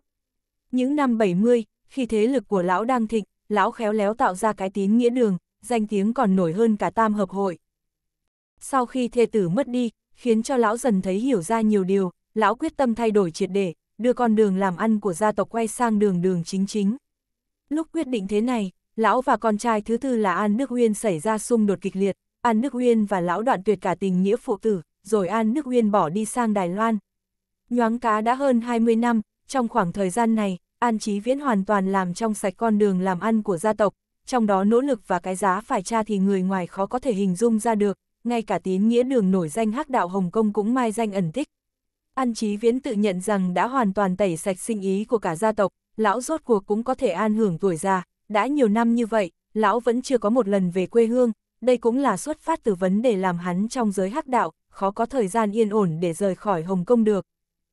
Thật không ngờ vừa mới chưa được bao lâu thì lại có kẻ bới chuyện này lên, sự kiện này cũng xuất phát từ con trai cả của lão. An Chí Viễn thở dài, ta hơn 20 năm đưa An ra trở lại còn đường trong sạch, không ngờ trong mắt người khác vẫn còn là hắc đạo.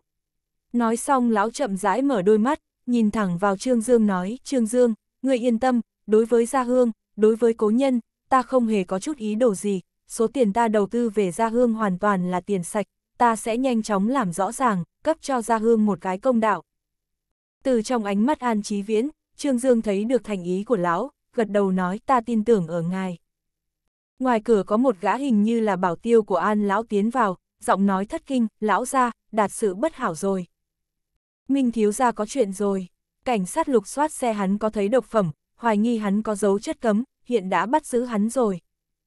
An Chí Viễn trợn hai mắt cả giận nói, sao lại có thể? Đạt Minh chưa bao giờ dính dáng vào mấy cái chuyện đó. An Đạt Minh là con trai của nhị nhi tử lão, sau khi học xong ở Mỹ trở về làm việc cho tập đoàn. Thái độ làm việc của hắn rất kiên định khẳng khái, trong đám cháu, An Chí Viễn coi trọng nhất là hắn, trong lòng dự định tương lai sẽ đưa hắn trở thành người điều hành An gia. Thật không ngờ bây giờ lại phát sinh chuyện như thế này. An Chí Viễn nhanh chóng bình tĩnh lại, mấy ngày nay mặc dù lão vẫn tính dưỡng trong ý Việt, nhưng không lúc nào là không quan tâm tới mọi sự tình bên ngoài, lão đã sớm ý thức được đứa con cả bị kỷ ủy điều tra mới chỉ là bắt đầu, hẳn là có kẻ tiến hành một loạt những hoạt động nhằm vào An gia. An Chí Viễn trao mày một chút, trong khoảng thời gian rất ngắn đưa ra một yêu cầu hết sức quyết đoán tiểu yêu. Đi nói với bọn họ, ta muốn lập tức xuất viện. An ngữ thần có chút kinh ngạc nhìn ra ra, không biết vì sao tự nhiên trong đầu nàng lại đột nhiên xuất hiện chút ý niệm hưng phấn. An Chí Viễn nói, cái gì phải tới trung quy cũng tới. Để ta xem rốt cuộc là kẻ nào đứng sau lưng muốn chơi ta. Tuy lần này chỉ gặp qua loa An Chí Viễn một chút, nhưng Trương Dương cảm giác rõ ràng tình cảnh lão đầu này hiện nay không ổn, hắn bèn đứng dậy xin phép cáo từ. Lúc này An Chí Viễn nhẹ giọng nói, Trương Dương, ngày kia là mừng thọ 70 của ta. Ngươi vui lòng đến dự chứ? Trương Dương sảng khoái gật đầu nói, hảo, không thành vấn đề, ta vừa vặn muốn ở lại Hồng Kông chơi vài ngày. An ngữ thần có chút kỳ quái, nguyên bản ra ra không định tổ chức tiệc mừng thọ, chẳng hiểu vì sao đột nhiên lại cải biến chủ ý, nếu như ngày kia tổ chức tiệc, hiện tại mới bắt đầu chuẩn bị xem chừng hơi gấp gáp. An Chí Viễn nói, mà cũng đã lâu rồi ta chưa có tụ họp với đám lão bằng hữu. Tiểu yêu, liên hệ với chu luật sư, lập tức nộp tiền bảo lãnh cho Minh ca ra, ta không muốn hắn phải chịu ủy khuất ở cái cục cảnh sát ấy chút nào. Ân, An ngữ thần tiến Trương Dương đi ra ngoài, trên mặt nàng từ đầu tới cuối không có chút tươi tỉnh nào mà ngược lại, xem ra tâm sự của nàng rất nặng. Trương Dương đưa số điện thoại tại Hồng Kông của mình cho An Ngữ Thần, đây là lúc tới Khâu Nguyệt đưa cho hắn sử dụng, hắn thoải mái nói với An Ngữ Thần, mọi việc rồi sẽ rõ ràng thôi, ta nghĩ chuyện này sẽ qua nhanh. An Ngữ Thần mấp máy miệng, sư phụ xin lỗi, vành mắt của nàng có hơi đỏ lên. Trương Dương tươi cười, tiểu yêu, người không phải xin lỗi. Hiện tại, tình huống như thế này chẳng ai muốn xảy ra cả. Hắn vẫy vẫy tay chào An Ngữ Thần rồi rời đi. An Ngữ Thần lặng lặng đứng ngoài đại môn, yên lặng nhìn bóng lưng hắn mãi cho tới khi tiêu thất hoàn toàn.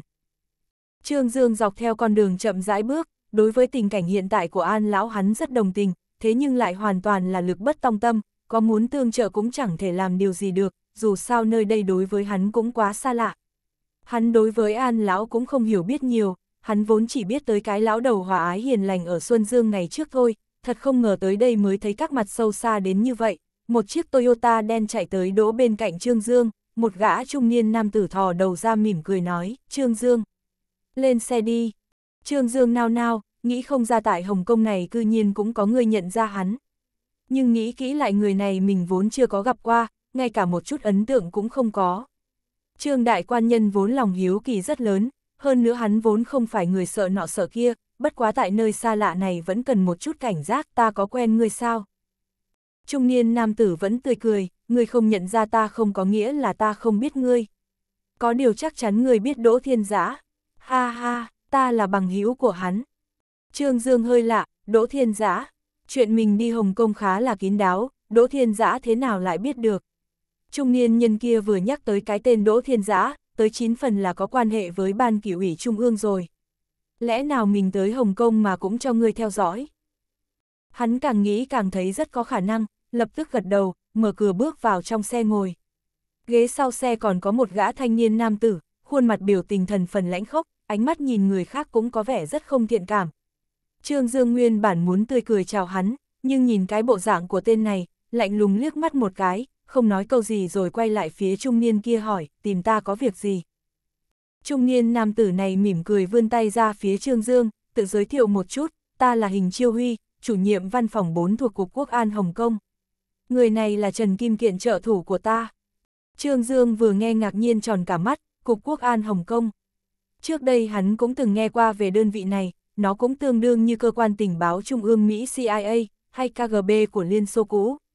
Chính sách và thủ đoạn luôn cứng rắn đối đầu với các thế lực làm tổn hại đến lợi ích quốc gia, thế nào lại tìm mình làm cái gì? Hình Chiêu Huy nhìn Trương Dương đang khó hiểu, mỉm cười nói, gần đây chúng ta tiến hành điều tra đối với An Chí Viễn, từ lúc ngươi tiến nhập y viện chúng ta đã bắt đầu chú ý tới ngươi. Đối với thân phận của ngươi cũng đã tiến hành điều tra, xác nhận ngươi là chủ nhiệm văn phòng đại diện Xuân Dương tại Bắc Kinh, qua liên hệ, chúng ta cũng biết là ngươi tìm An Chí Viễn là vì vấn đề đầu tư tại Thanh Thai Sơn. Trương Dương vẫn không muốn đem tình hình thực tế nói cho bọn họ, giảo hoạt nói, hình chủ nhiệm, ngươi suy nghĩ quá nhiều rồi. Ta lần này tới đây tuần túy xuất phát từ tình cảm, chỉ muốn xem xem bệnh tình của lão thế nào thôi. Đối với chuyện của lão, ta không có hứng thú. Nét cười trên mặt hình chiêu huy biến mất, Trương Dương, chúng ta đều là cán bộ quốc gia, vô luận là ở đâu, việc đầu tiên cần phải làm là đặt lợi ích quốc qua lên đầu. Ta mong muốn ngươi có thể xử sự như một đảng viên tiêu chuẩn. Hãy công bình là nói ra những gì ngươi biết. Trương Dương nhìn hình chiêu huy, đột nhiên toát ra một câu, ta dựa vào cái gì mà tin ngươi. Hình chiêu huy gật gật đầu, hắn cầm lấy điện thoại, bấm bấm vài số, sau đó đưa máy cho Trương Dương, Đỗ chủ nhiệm nói chuyện với ngươi. Trương Dương tiếp nhận điện thoại, quả nhiên là Đỗ Thiên Giã. Đỗ Thiên Giã thở dài, Trương Dương, đám hình chủ nhiệm bọn họ xuất phát điểm là ý tốt, chỉ là điều tra việc này thôi. Mong muốn người có thể phối hợp với bọn họ, như vậy mới có thể sớm làm rõ chuyện này, giúp những người có liên lụy. Trương Dương tức giận nói, ta nếu nói tới Hồng Kông chỉ thăm an lão người có tin không? Đỗ Thiên Giã trầm ngâm một chút rồi nói, Tần Thanh đã bị song quy rồi. Tuy rằng biết chuyện này không tránh khỏi, nhưng nghe Đỗ Thiên Giã nói, Trương Dương vẫn hơi giật mình một chút, sau đó hắn yên lặng, cúp máy, đưa trả lại cho hình chiêu huy, người muốn biết cái gì? Nội dung người cùng An Chí Viễn nói chuyện. Trương Dương nói, ta tới Hồng Kông là muốn gặp An Lão để hỏi một chút, hỏi hắn về số tiền đầu tư tại Thanh Thai Sơn rốt cuộc có phải là tiền đen giống như đồn đại không? Có đúng là lão lợi dụng đầu tư tại Thanh Thai Sơn để tiến hành rửa tiền hay không? Hình chiêu huy gật đầu hỏi tiếp, hắn nói thế nào? Hắn nói tiền sạch, có trời đất chứng giám. Hình chiêu huy đạm nhiên cười nói, cán bộ quốc gia chúng ta quan tâm là chứng cứ chứng thực, còn hắn nói cái gì cũng không quan trọng. Hắn hướng Trương Dương nói, An Chí Viễn đối với ngươi không có chút phòng bị nào, ta muốn người phối hợp cùng Cục Quốc an hành động. Trương Dương minh bạch, cái gọi là phối hợp này chính là người ta rốt cuộc là muốn hắn làm công tác gián điệp. Hắn suy nghĩ kỹ chuyện này, nếu cựu ủy và Cục Quốc an đã biết hắn tới Hồng Kông thì xem ra bản thân tại Hồng Kông làm gì cũng phải thận trọng, dù sao hắn cũng đang ở trong thể chế, làm chuyện gì cũng đành phải tuần thủ nguyên tắc đặt lợi ích quốc gia lên đầu. Tuy rằng Trương Dương không phải là một người quy tắc gì, nhưng dù sao hắn muốn tiếp tục lăn lộn trên quan trường thì đành phải nhượng bộ, nhưng Trương Đại Quan Nhân không phải là một người cam chịu người khác bài bố, tiểu tử này tối am hiểu chính là có kè mặc cả, hắn trực tiếp nói, vậy ta được cái gì tốt? Hình chiêu huy nở nụ cười. Từ những hiểu biết của hắn về Trương Dương qua tư liệu, hắn biết thằng nhãi kia không phải là cái dạng lương thiện gì, hắn có kẻ mặc cả hoàn toàn nằm trong dự liệu của hình chiêu huy. Hình chiêu huy thấp giọng nói, người muốn cái chỗ tốt gì? Hắn cũng không phải là một kẻ câu nệ cũ kỹ, công tác nhiều năm cũng khiến cho tính cách rất linh hoạt so với nhiều đồng nghiệp thì khá hơn nhiều. Trương Dương nhỏ giọng, ta đến bây giờ vẫn chỉ là một cán bộ phụ cấp. Trần Kim Kiện một bên lộ ra thần tình vô cùng xem thường, điều đó không có tránh khỏi con mắt Trương Dương, trong lòng thầm giận, con mẹ nhà ngươi, việc lão tử liên quan cái dám gì tới ngươi, ngươi tốt nhất sau này đừng có rơi vào tay ta. Hình Chiêu Huy cũng trả lời thẳng thắn, Trương Dương, nếu như ngươi có thể giúp chúng ta thuận lợi hoàn thành nhiệm vụ lần này, ta có thể đáp ứng với ngươi, khi về nước ta sẽ giúp ngươi lên trước một bậc. Hơn nữa chi phí tiêu hao lần này ngươi đi Hồng Kông, toàn bộ sẽ do Cục Quốc an phụ trách. Trương Dương không nghĩ rằng hắn sẽ sảng khoái đáp ứng như thế, hắn lập tức cảm thấy hối hận, một cấp.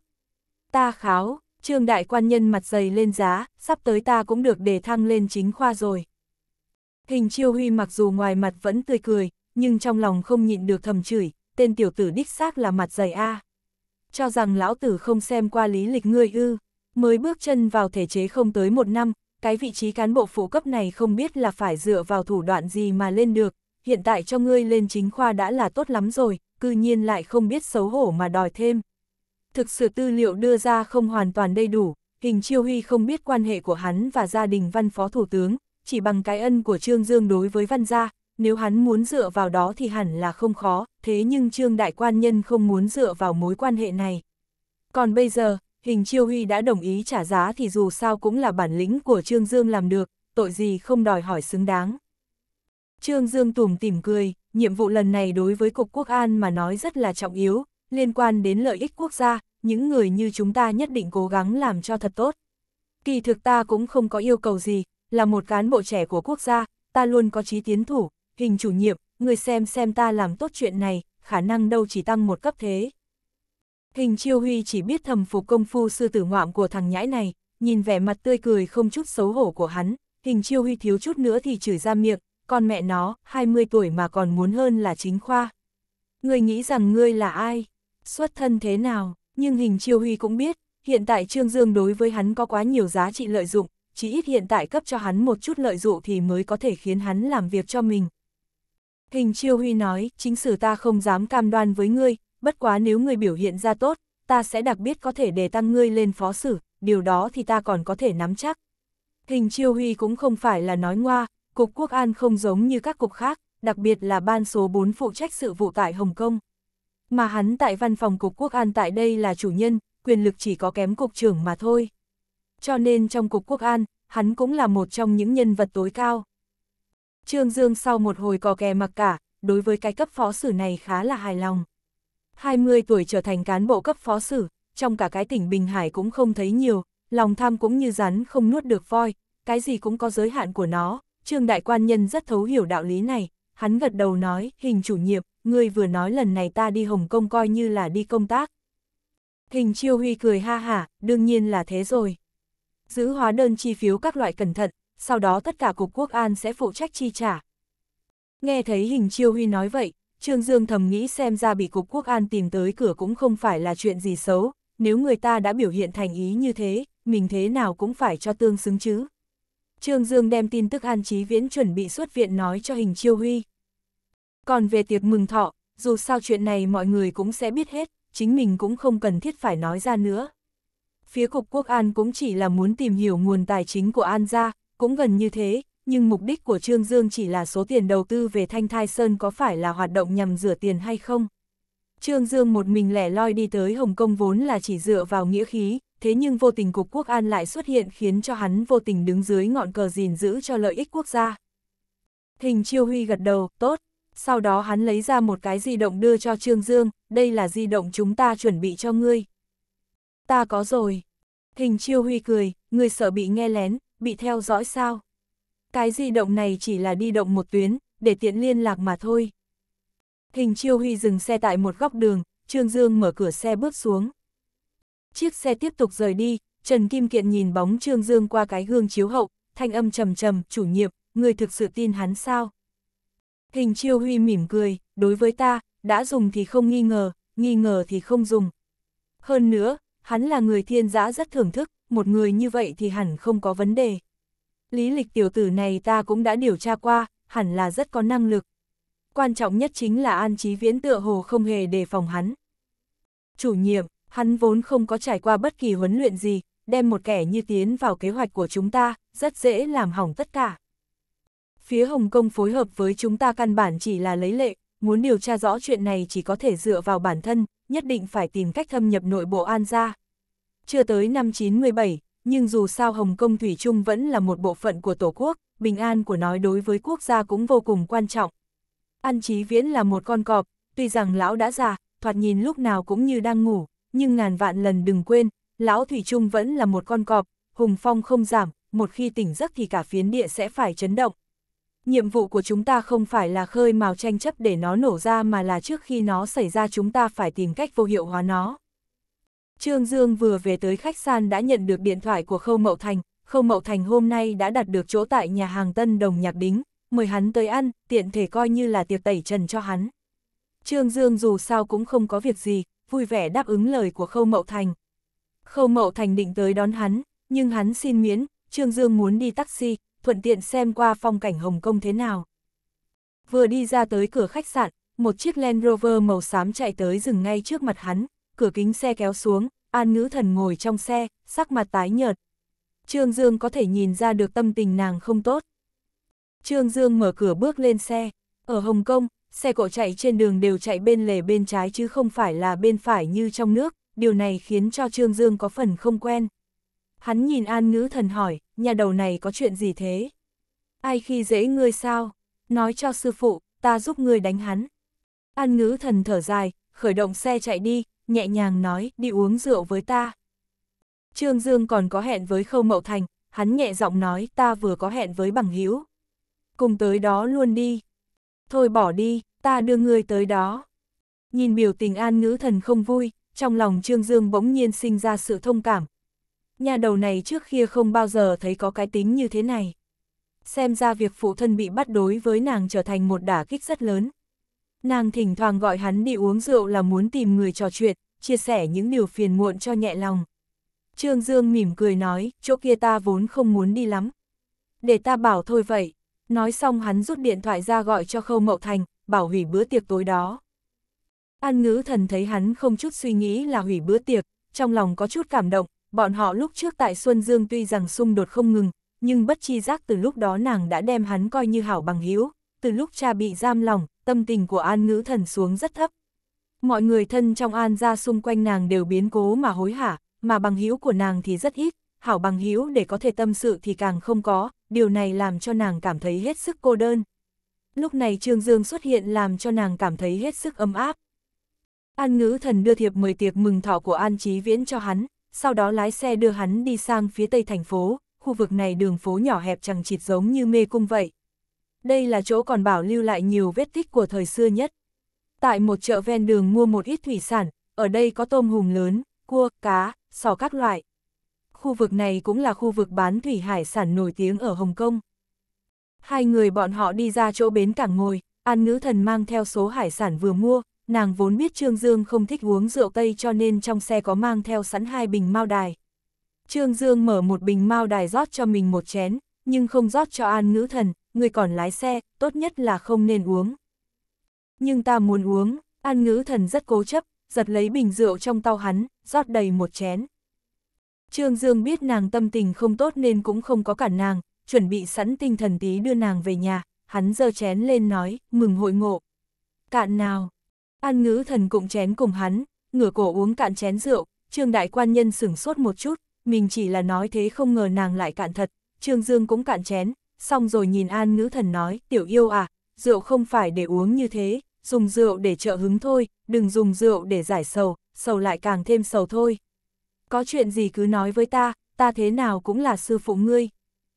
An ngữ thần miễn cường lộ vẻ tươi cười, sư phụ, ngươi ăn đi, người từ xa tới đâu mà ta chỉ tiếp đãi có thế này. Xem chừng là rất thiếu thành ý a. À. Trương Dương hắc hắc cười, tiểu yêu, người cũng biết ta là một tên dế chuỗi, càng tới những chỗ xa hoa ta càng cảm thấy không tự nhiên. Chỗ như này mới thật tốt, thoáng đãng mát mẻ, chẳng lo ai chú ý, chẳng cần chú ý lễ tiết với dáng vẻ, có thể thoải vô cùng. Trương Dương nói chuyện rất xuề xòa những lại khiến cho nội tâm an ngữ thần thoải mái, nàng rốt cuộc cũng cười, sư phụ, ta thích nhất là khẩu khí nói chuyên của ngươi, tuy rằng còn khó nghe hơn đám lưu manh một chút, bất quá so với đám ngụy quân tử kia thì ngươi tốt hơn nhiều. Sao lại đem ta đánh đồng với đám ngụy quân tử, như thế là vũ nhục nhân cách của ta đó. Trương Dương uống nửa chén rượu, phát hiện ra phía bên kia có một nữ nhân tóc vàng mắt xanh đang nhìn hắn. Tiểu tử này trước mặt nữ nhân bao giờ cũng tỏ ra rất phong độ, rất lịch sử mỉm cười gật đầu đáp lại ánh mắt đó. Nữ nhân Tây Dương kia thấy thế cũng mỉm cười, biểu tình trên mặt càng tỏ ra quyến rũ.